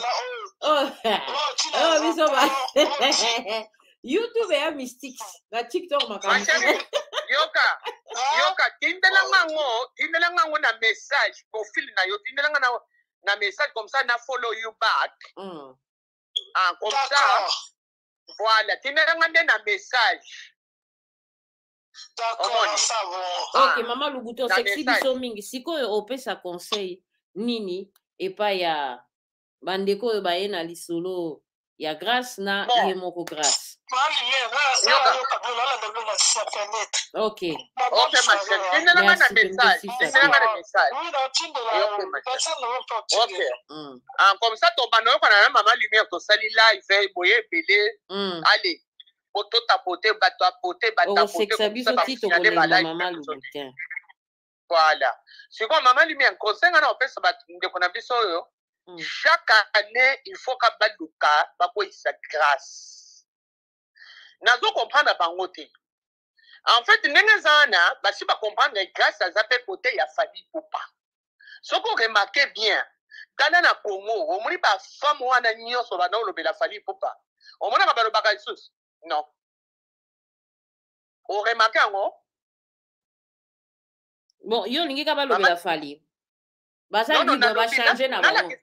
Mm. non nalakisi yo eloko ka moke mm. remarke bafi nyonso ya bachronifote ya congo oyo bamana koya kosala baanalyse différent ya boye mm. soki bayi ko defendre fali mama na minute oyo bango tu bakata bakomi ka makambo ya fere Mm. makambo ya boye oyebi pourkoi Pourquoi? bachronifuati ya poto batindele bango bambongo sikoyo bazomona ke grâce oyebi nalandaki live na ye semaine passé asaki live Mm. analyse sur tiktok concernant fali oyebi Mm. yango Oui, nayebi nalandaki. mama ntango bamoni ayi kosala analyse wana mama bacreye likambo oyo eza likambo ya bacreye eza lokuta moi j'ai compris ke balingi bato tout na congo balobelaka fali na ndenge ya malamu te biloko ozomona balobaka na poto wana eza tindika chakad soki olandi baanalyse mpo olandaka bango te ngai nalandaka soki ozokota boye ovandi nayoka bato baya na mayele mokuse u baya na mayele ya molai mama baza na basysteme ya uh, antuka makambo ya boye biso tolingi te fali pupa pardon antuka bana baza bana na yo boye na boye une minute bawarrior bakoti balobi tika lokuta ozalaka contre fali obongo oh, nga nayebisaki bino ke nga naza warrior olanda eh? mm. donc likambo ezoleka ya mwana ya mwana oyo grace chaque six mois ou huit mois bavandaka kimia te il faut bakweyisa grace il faut bakweyisa grace il faut baluka likambo mama oyo oh, ya moyibi lokuta mama parce que bango moko bazo se contredire yoka baolobaki ke ezangi na likelemba moko babandaki ya 100 dollars 200 dollars 300 dollars wana ekendaki bien après eye komata ya wana bato batuni bango ntango baobenga ya combien de jours o chaque mois ah sikoyo chaque mois oyo bokomi kobalola ya 500 dollar motu moko atie mito mama leki soki ya sambo moko boye oyo azali moto ya bakarine mokonzi o ye atiaki deux mitu mama leki ya mwana mwasi wana sikoyo 500 dollar par 500 euro par mois mama par mois comment 500 dollar par mois balobi bato baza soki 10 esote mbala moko ekomi 150 mille mama ocomprendre non mm.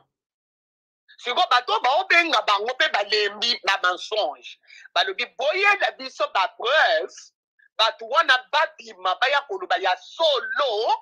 ayibi biso botala batransfert ya mbonga wester ou bien ya kia ou bien mama elo, ria eloko eza te baye kaka bamonte lisusu eloko ya baluka grâce aya mais siko grâce mpe depuis libala ekufa na ndenge ekufa na ndenge mobali ayaka ayaka te ebomaka bango balinga moto aza na silence ya bongo te siko ngai nayebaki te grâce azalaka kote ya fali ntango nalandi live na yanga oh live oyo mbala liboso nalanda ye na tiktok live yeah. oui oui nayebaki te kazala na tiktok aza na live asalaka bavideo azala moto asali makasi mama oyebi depuis bamoni en tout cas live wana azalaki semaine passée je crois que tous les youtubeurs ya poto balobi non tolobela ye mensonge mama 150 000 mama bato bazoloba 500 dollars par mois mama ata yo moko 500 dollars par mois ata moto moko atye mitu miba- motu mibale na ndenge ya ye moko mama 150 000 euti wapi euti wapi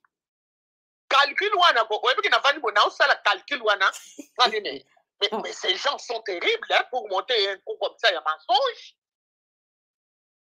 lokuta mama lokuta na bango lokuta mama ce n'est pas vrai moi je te dis na bato bazobenga bango bazoloba non non non non tolembi bino boyela biso preuve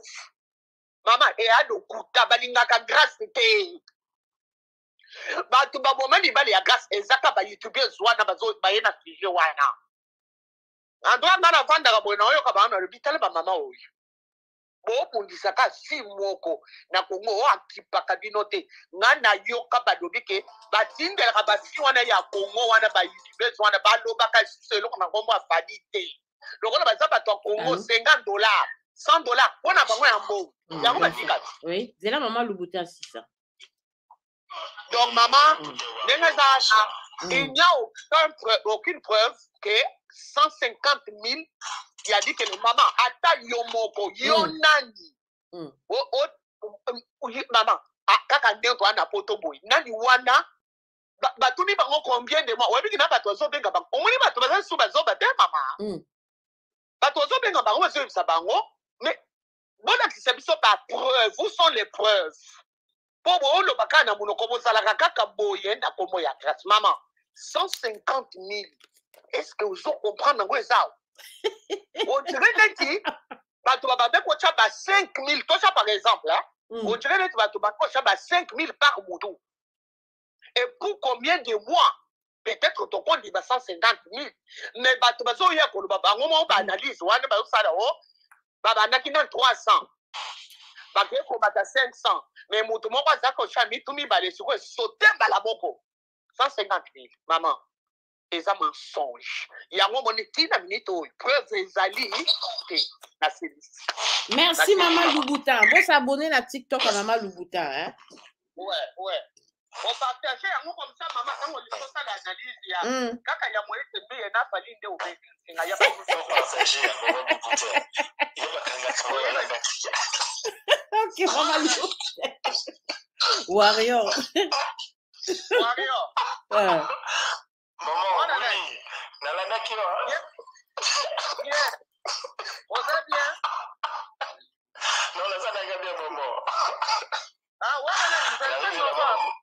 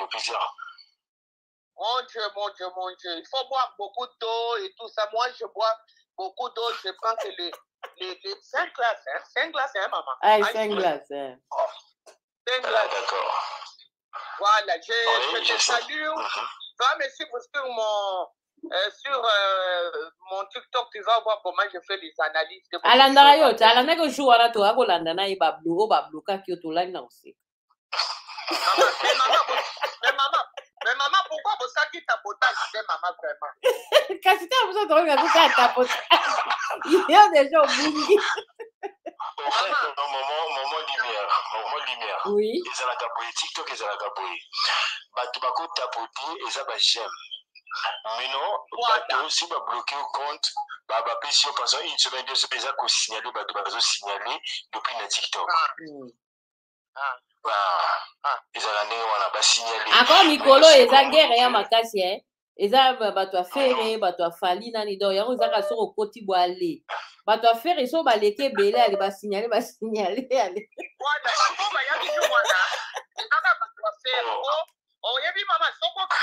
fayulu nazozwa yo zela tonto asisa mm. ah, mama omoni soki okiti mingi na bavideo nanga omona combien na chaki na chaki euh, nakendaki na, na google mm. nake koluka qui est le plus riche par rapport ya ferre bole na fali buba mm. nake koposte kuna depuis déjà basi bacomprena oyo oh, moto afali oyo okomona eh. ntango nake koluka yango ah, ntango nake koluka yango namoni fob bonga nandimaka kaka fob mm. fob wana eza for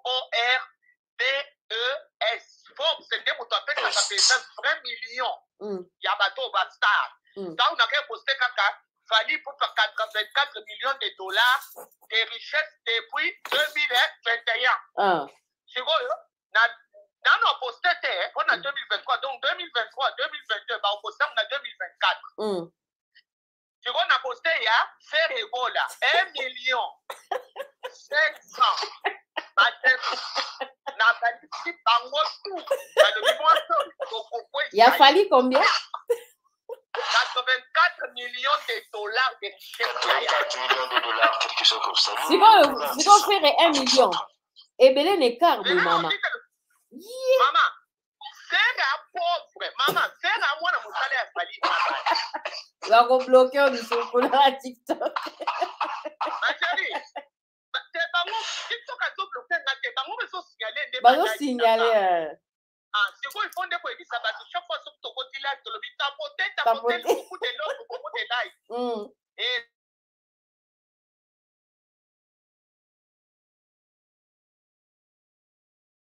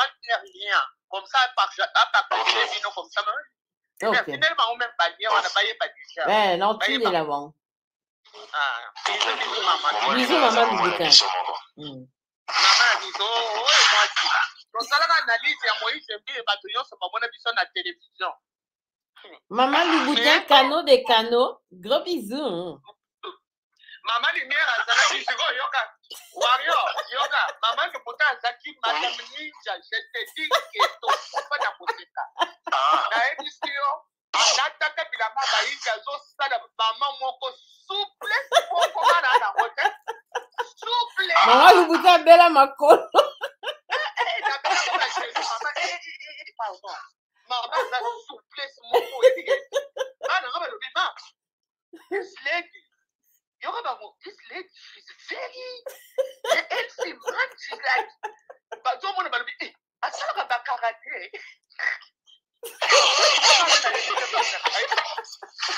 nayebi te nabelaka makolo mama une semaine naokokutelemaka mami te te mama liniere aza oza fer merci mama louboutin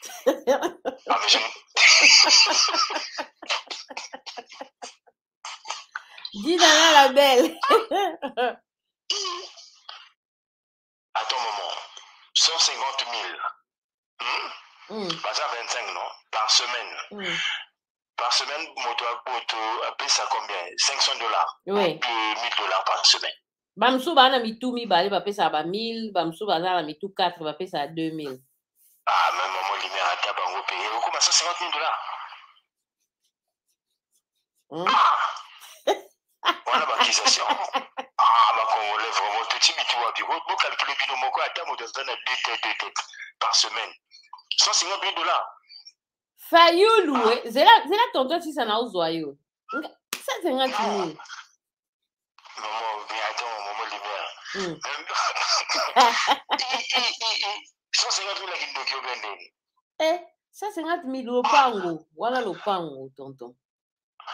Ah, voilà lopango la gombe. Na bien, sikoyo bokotili kelema ya 150 000 e boza bato boza na mbongo sikoyo bato bazotya mitu 4 donc 2000 par semaine bozozwa yango wapi bato ya poto c'est ça eh. bamiyibi bazokosa bato na faut pas mentir les gens comme ça hein. vraiment on n'est pas des petits enfants attends 2000 dollars par semaine du bien 4000 dollars par semaine ah. tu travailles où dans quelle banque eh.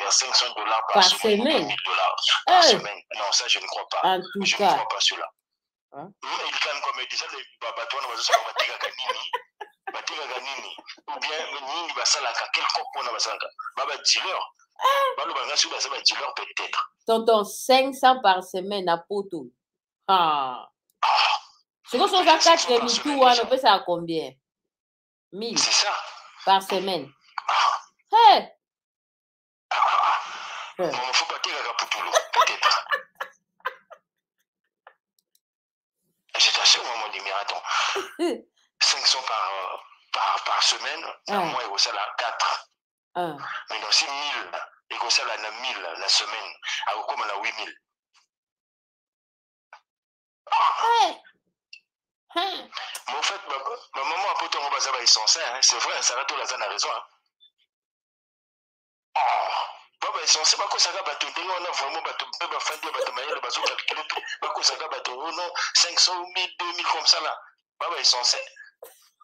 ata bamama wana batekaka batekaka nini wana bakosa bato na vraiment na na era boye 2000 2000 par, par semaine na poto oza nianke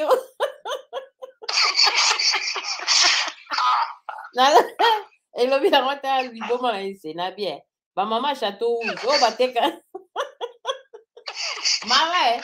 zalobi e liboma baoyo bateka basafu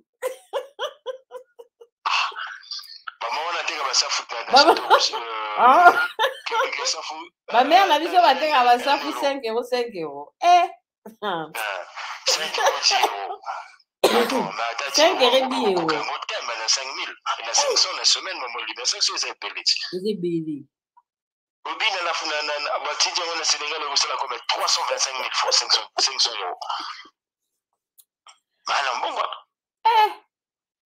po tokope ekoma mpasi eh, ah. bavie na biso nyonso baza kokopere bakota bakayu eh? ah. sakana non mais ça c'est le mensonge vraiment batika kokache euh, sor na biso ndenge wana eza biso na biso mm. eza même si tolobi na biso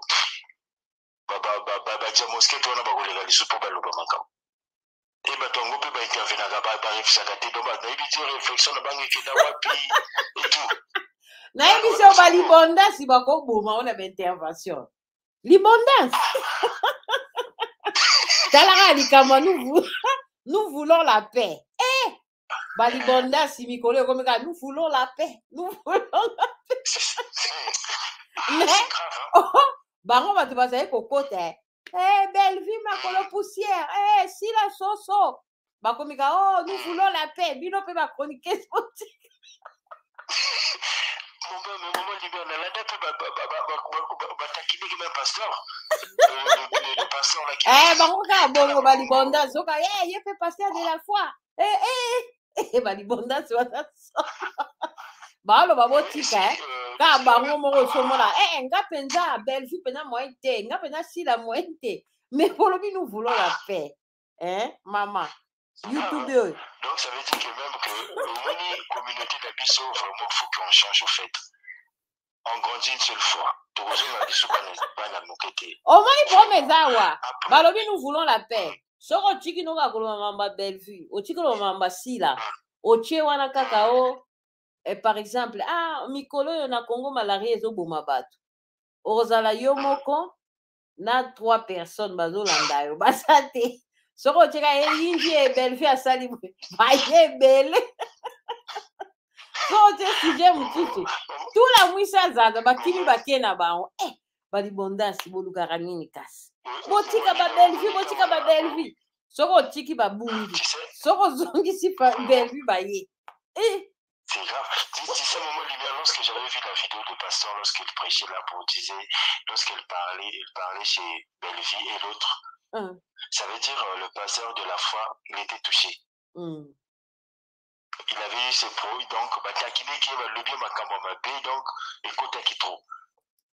donc du coup alobi to to sasala na prière tala ba tala ba congolais ndenge ba komisi pasteur et c'est pas gentil bon nde bazo sasa pasteur de la foi papa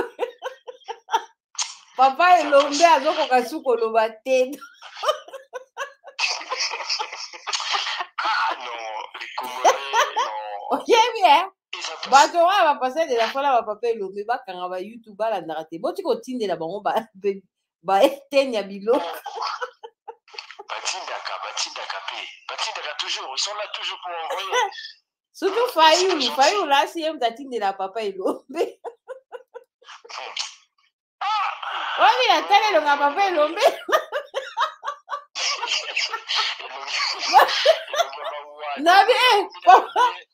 papa elombe mawa evandi mpena eh, mundele efaka nga youtube mundele efaka nga youtube na yebisi papa masumu alobi ngai mpenza soki otangi nkombo na ngai tokenda tribunal nabikaya masumu na poto awa bakotanga yo ata sanfo obima naye na tribunal na mawa c'est grave au fait euh, eza kindoki momo lumière eza bien te eh passer de la foi atuni yoka yokana likambo belvina sila basomoti batuni sila ah. boni bellevue abi eh bellevue mwana malamu aye moto accompagna papa na morgue eh pasteur de la foi afungoli mbuma miso alobi sila bellevue abi bellevue wana ndeko na ngai mwana mama na ngai bellevue mwana malamu pasteur de la foi aye pa bellevue bellevue boni sila alobi sila sila mwana mama na ngai nga kutu nde naza boye naza mpe abakuku ye mpe aza famille libota paster de la foi bana mwasi oyo mibale bana ndoki basali ye zobazoba paster de la foi alobi e abeti maboko na pzale alobi nzambe natiki bango natiki bango na maboko na yo posto pilato passer de la face sokoli maboko yo somona likambo oyo bato mibale ezopela moto oyo kuna biwana mwana mama na nga oyo kuna mwana mama na ngai passer de la face bi e oyo ka likambo mosusu pardon poster pardon eza bien te eza bien te ce qui se passe dans la toile bon papa tokosala ni bango mibale balobi balobi aza mwana mama na ngai wana papi aza mwana mama na ngai siko eh, omoni mpe mobutu mpe alobi yosilie mpe alobaki ti eh pardon eh ah. hmm. bana basi wana eh obika na bime yo mwana mama na ngai kuna mwana mama na ngai ah te en tout cas belville asila ah, pardon basali biso eloko moko ya kilo mais maman pour l'histoire là pour euh, les 150 000 dollars là mm. bati ya kosa bato ah bati ya kosa bato ah bakosala babikelemba ba 50 euro bakoma oloba 150 000 dollars n'importe quoi wana kindoki oh mama liba nazolanda na se kwa merci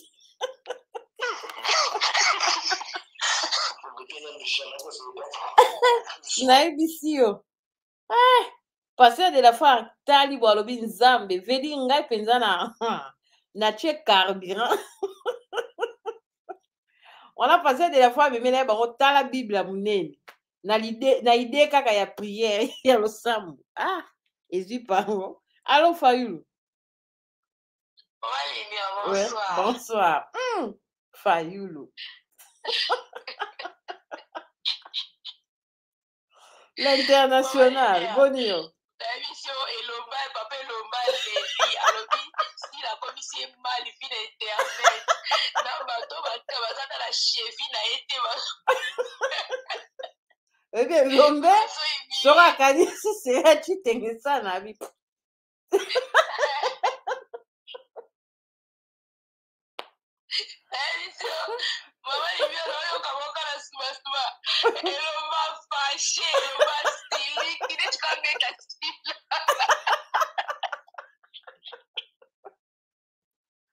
sikoyo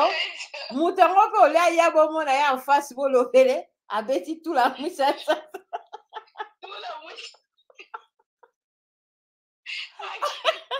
babi na ye eh? sala message ya video ya besi nakomaki e eh, bazo bako video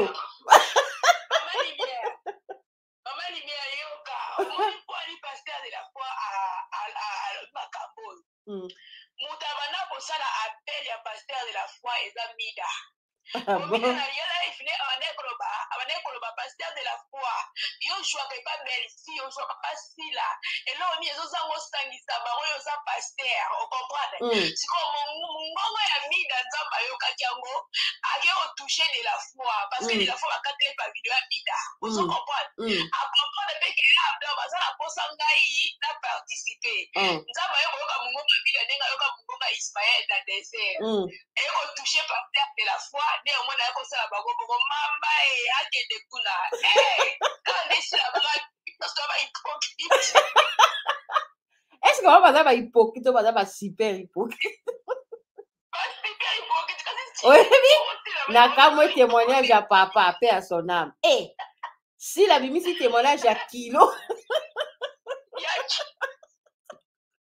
ya na mbalakata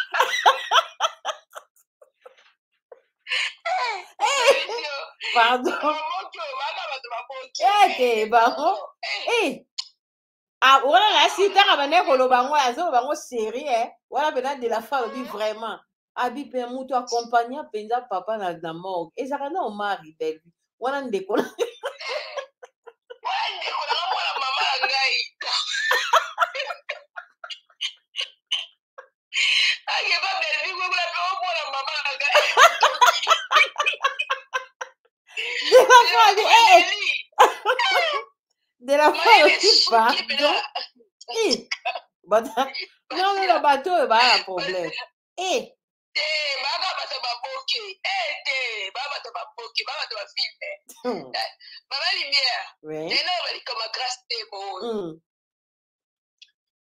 dosi oyo nayokaki yango lobi mm. lokola amonaki yango flou nabetaki yango kara mm. mele hm akotaki na kutu nabengi hm nabi hm likambo eza ya lokuta eza mm. solo te mama limia nga naloba yango e eh. mm. nakofera nakota lola mm. liboko moko mpo na verité elaki mm. kota lifelo maboko mibale likolo ya mensonge mm. nga mensonge toyokanaka te mm. yango moi nga nazalaka anti mensonge mm. bato ya biso bakanisaka biso tolingaka karine te tofingaka ye te tolingaka ye soki asa eloko malamu na obetele maboko mais ntango akosaka population na lokuta akosa population akobetele maboko te ngai mama limi so okotika live nde na bloke na kimaka nayebi nayebi nasi omona ngai nayaka te eh, nasi omona ngai nayaka te parce que nyonso ezalaka masonge na masonge ya mama lumière na ngai mama lumière na ngai tozala bato nga bato bayinangaka mpo nazalaka stage yo si omona na youtube makambo nde ekoma kokita omata moto alie omwa 50 oye kobelele na youtube grâce alia bato mbongo te bakolo mbongo wana baya na babref na youtube te mama lumière baluka ata chroni mama moko te bapesa dossier oza sire eh mama lumière bino moko bozomona teke likambo yango eza nano eza nao faux eza fonde parce que lelo ndenge ekoma bato lelo ekoma asomi periki olie mbongo aye na dossier na nkombo abandaki kotindelo mbongo bakoya nango sikoyo grâce amei bato bamillion bongo mama mm. baya na bakartier oyo baza kotindele bambongo te bato yango mpe baye kolela na youtube te bato yango mpe baluki mkoni mama moko te mama shem ata ndenge wana mama shem ashem azwaka nde badosie ya bongo ashem mm. sokoye na badosie wana atalaka ndenge dosie ya mwana mwasi oyo ndenge abimisaki yango na kwasa ozomona mm. mpo ashem aboyaka badosie te mama mm. limi ya makambo oyo eza faux archifaux ya lokuta trastemo aza na mbongo ya moto alete taka bacrele na visa canada mm. ta niveau bacrele meme na visa canada donc mpona koloba ke batika mwana bato afana na kimia mama bazwile bazwile na visa canada na passeport ipare ozomona mm. donc batika grâce afana tranquille moto azocreye makambo oyo nayebi ye mama tika mm. mwana bato aza na mwa mokie aza na mwa moke abokola mama ya bango na baleki na ye otika mwana bato avanda ngai na koloba na ngai ale boye kofinga ngai boye korepondre ngai oke ngai nafingaka na ngai lisusu te mama limiere na tika makambo ya kofinga nde okotika yo mpo okoti na ideologie ya pasteur de la foi cherchons la paix mama tobanga chere chere wana yaya chere mama limiere chere mm. hey,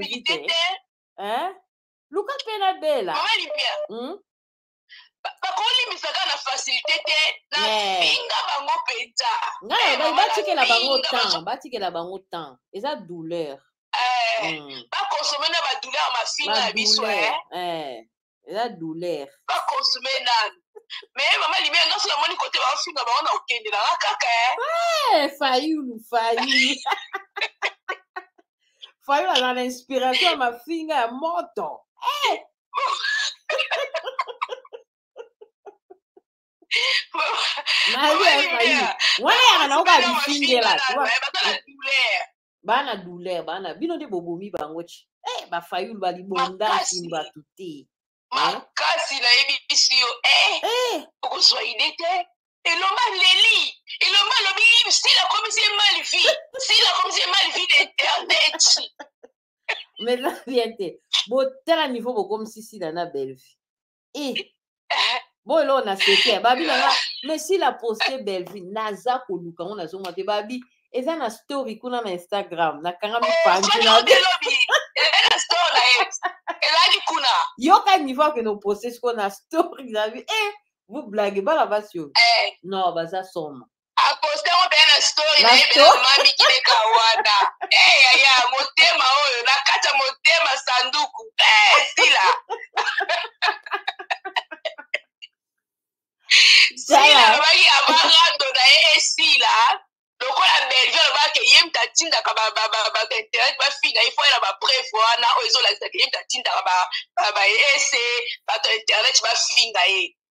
soki aye nango te bakolobanaka te ozo comprendre eh. wana sila postaki wana ezali nango kaka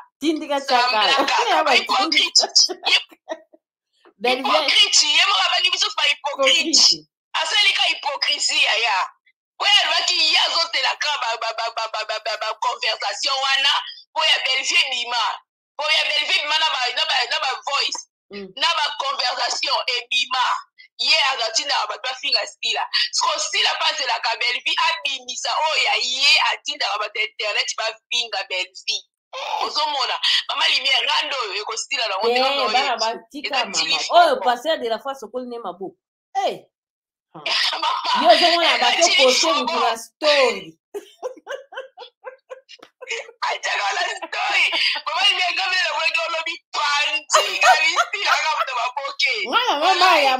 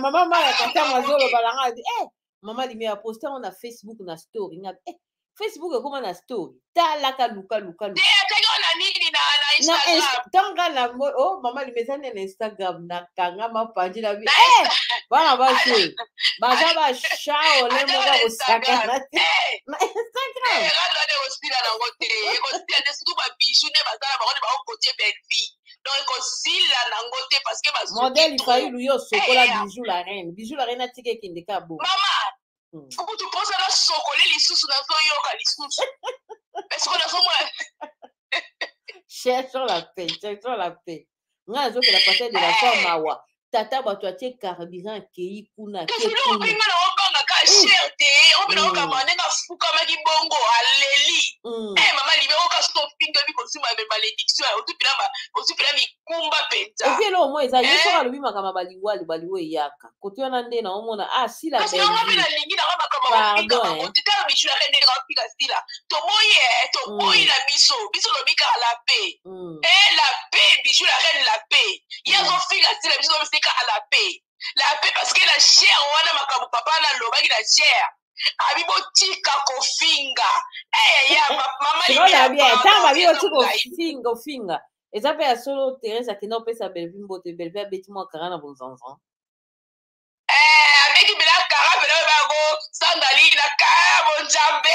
nalobi e sikoyo theresia na motindo aza na baclash wa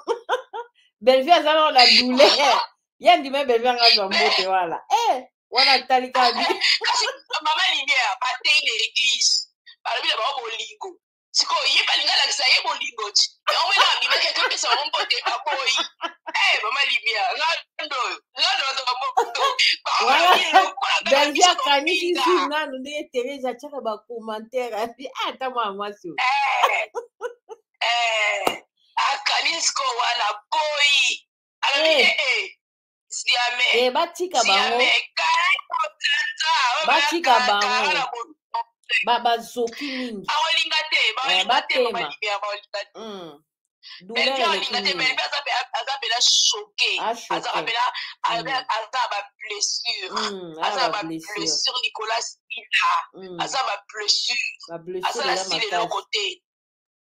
aye ba blessure ya makasi mm. ndenge aolo selo ndenge aoloba mm. bonga mpe nayoki kaka na smasma mm. eh, ndenge aoloba en tout cas bapota eza ye nao na maka akokoka te akokoka te parce que aza na bapota na motema eh, bapota na ye eza na en tout cas akokoka réconciliation wana te akokoka yango te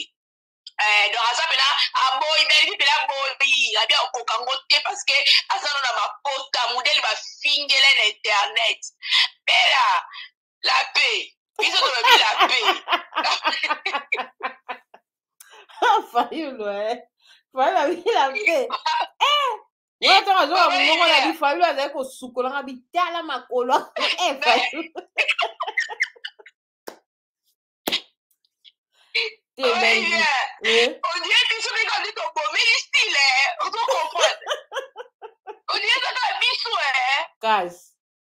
po papa elambe papa elobe mpe niveau aza ya kosilika makasi Eh. abi bato bafinge na youtube aza tala chevi na ye te sila afingisi ye na youtube papa Sila, elombe ana sila, ah, ah, emotion aotalaka bazalaka na lipati na esengo amona makambo oyo te Eh. ebongo biso mpe minoko etoboka osila alinga kopese ncoto te yango afaka balukela se biso mpe minoko oyo mi-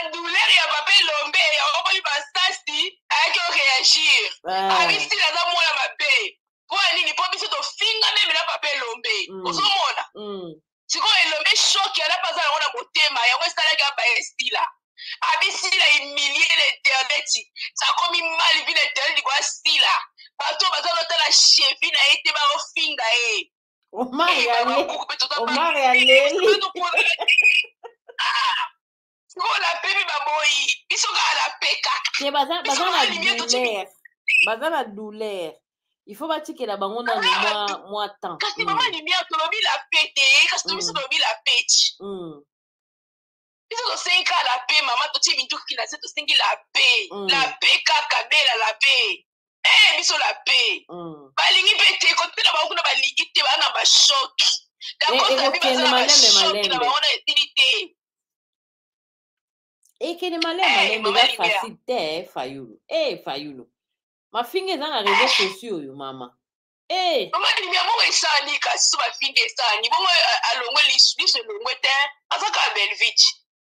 ayi omoni ye oyebi yango ke eza ye mami mami me ye ye sikoyo azomona yango mpenza ke non oyo bazopapa omoni eza ndenge wana eh. eh. na baninga ne bana mibali bayokela belvi mapuka basipingaka oyo bango balinga ye nini sila omoni sila ndenge aleka pa vincent apalaka loba ke babakuki boti kofinga belvi lokola sila loba yango te mm. lokola sila loba yango te donc mpo na bango sila nde apesa biso modo te ofingaka bango na emission wana ya vincent mm. de toute façon mama limi ata sila mpe apema na pema na bango te eh. ata bango na bango biso kaka na pe me mm. pema sila bango te bapia sila eh. mama limi pardon te motu na motu kaka na ka na ye kosala kaka bien bellevue ngai namonaki nalobaki kutu lobi pasteur de la foi apesa ah. bango omoni ye eh, soki bato mitema ezotutana te ata bosangisi bango moni ata ba respect kaka ezala mutuel mama libiere eza kaka belvi asilika mpo mafinga na internet elekaki na nkombo ya sila mm. ocomprendre mm. mais sikoyo sila te moto ane kotinda bato mpoka bango balingi kokomprendre teke eza sila te ozomona mama lumière mm -hmm. sila atikali kotinda bato te bafinga belvi ozo comprendre mm. mais sikoyo bango bakangami kaka esila nde moto atindaka bato bango nde bafo bayina nde biso bakoyina sila te mpo sila atindaka motu te bango baoyina sila te baoyina bino te baoyina kaka sila bamonaka esila faki apekisa kasi yango na oloba ti mm. omoni sikoyo ke bango nde baomema masumu na bango pourrie mpo sila atindaka motu te ozomona mpo mm. sila ata apekisi mama limia neti moto okoyanga boye motula nga esala nango bien te oza sibela koyoka na oyoka nanga te mayoka mpo na mayoka mpo yango moni stila boya na ye kopekisa bato mpo ayebi ke abi bakalima bafani te mpo ata pekisi na ye so tobi todemare todemare kaka te hmm. mama limia so mondoona pe sikoyo otiki mpo na pe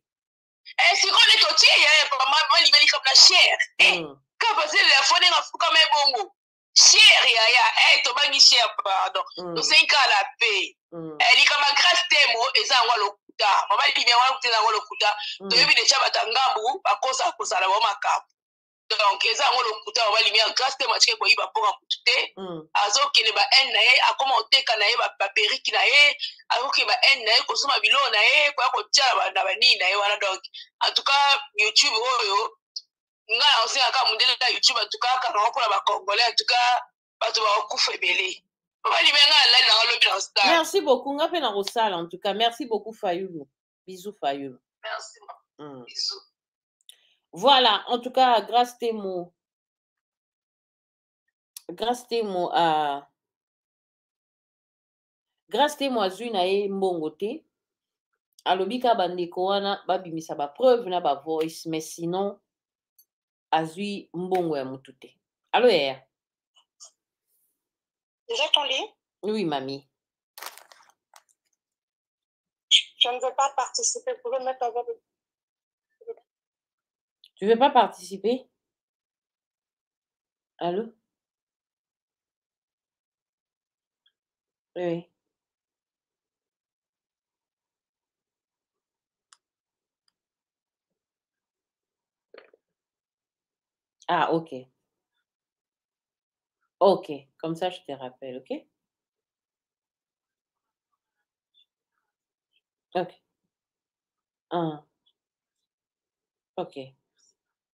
Merci, à tout à l'heure.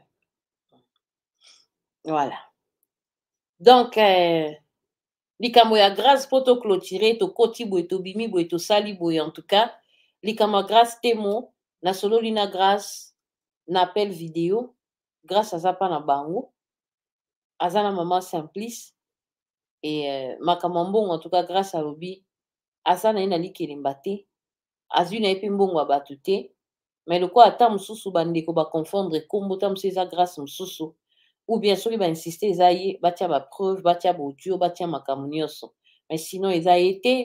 batemolove ba batemolover baoyo balingaka ye communauté mobimba en tout cas ye aza ne moyibi te hein, ça fait mal réputation kobeba boye moyibi moyibi alobi aza moyibi te vraiment donc voilà c'est un peu ça et aza nde malade grâce aza malade mais ayibi te nga moko na shokaki ete mwa na tie pression makasi naokelaki na mawa aza na etat ya maladie donc voilà c'est un peu ça bandeko et euh, tosungana na kati ya communauté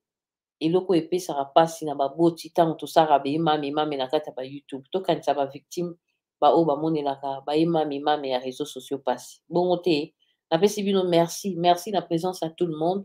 tokutami na bino lelo na ba aire moko mpo esi tokomi lobi ba gros bisous nzambe apambola bino en tout cas tolala bien molimo na kimia molimo na nzambe ezipa biso b'attaque nyonso diabolique ezala ni les sans effet au nom puissant de Jésus. Grâce, courage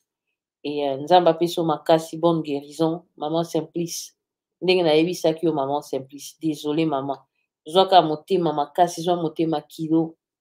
YouTube ka bongo botala, botala te mpo batitre eza na YouTube ekiti emati ezosala mpasi. Mama leki courage, noko courage, grâce courage pe kaka hein? donc voilà c'est un peu ça gros bisous nalingi bino mingi nzambe na lola apambola mpenza bino merci gros bisous bye bye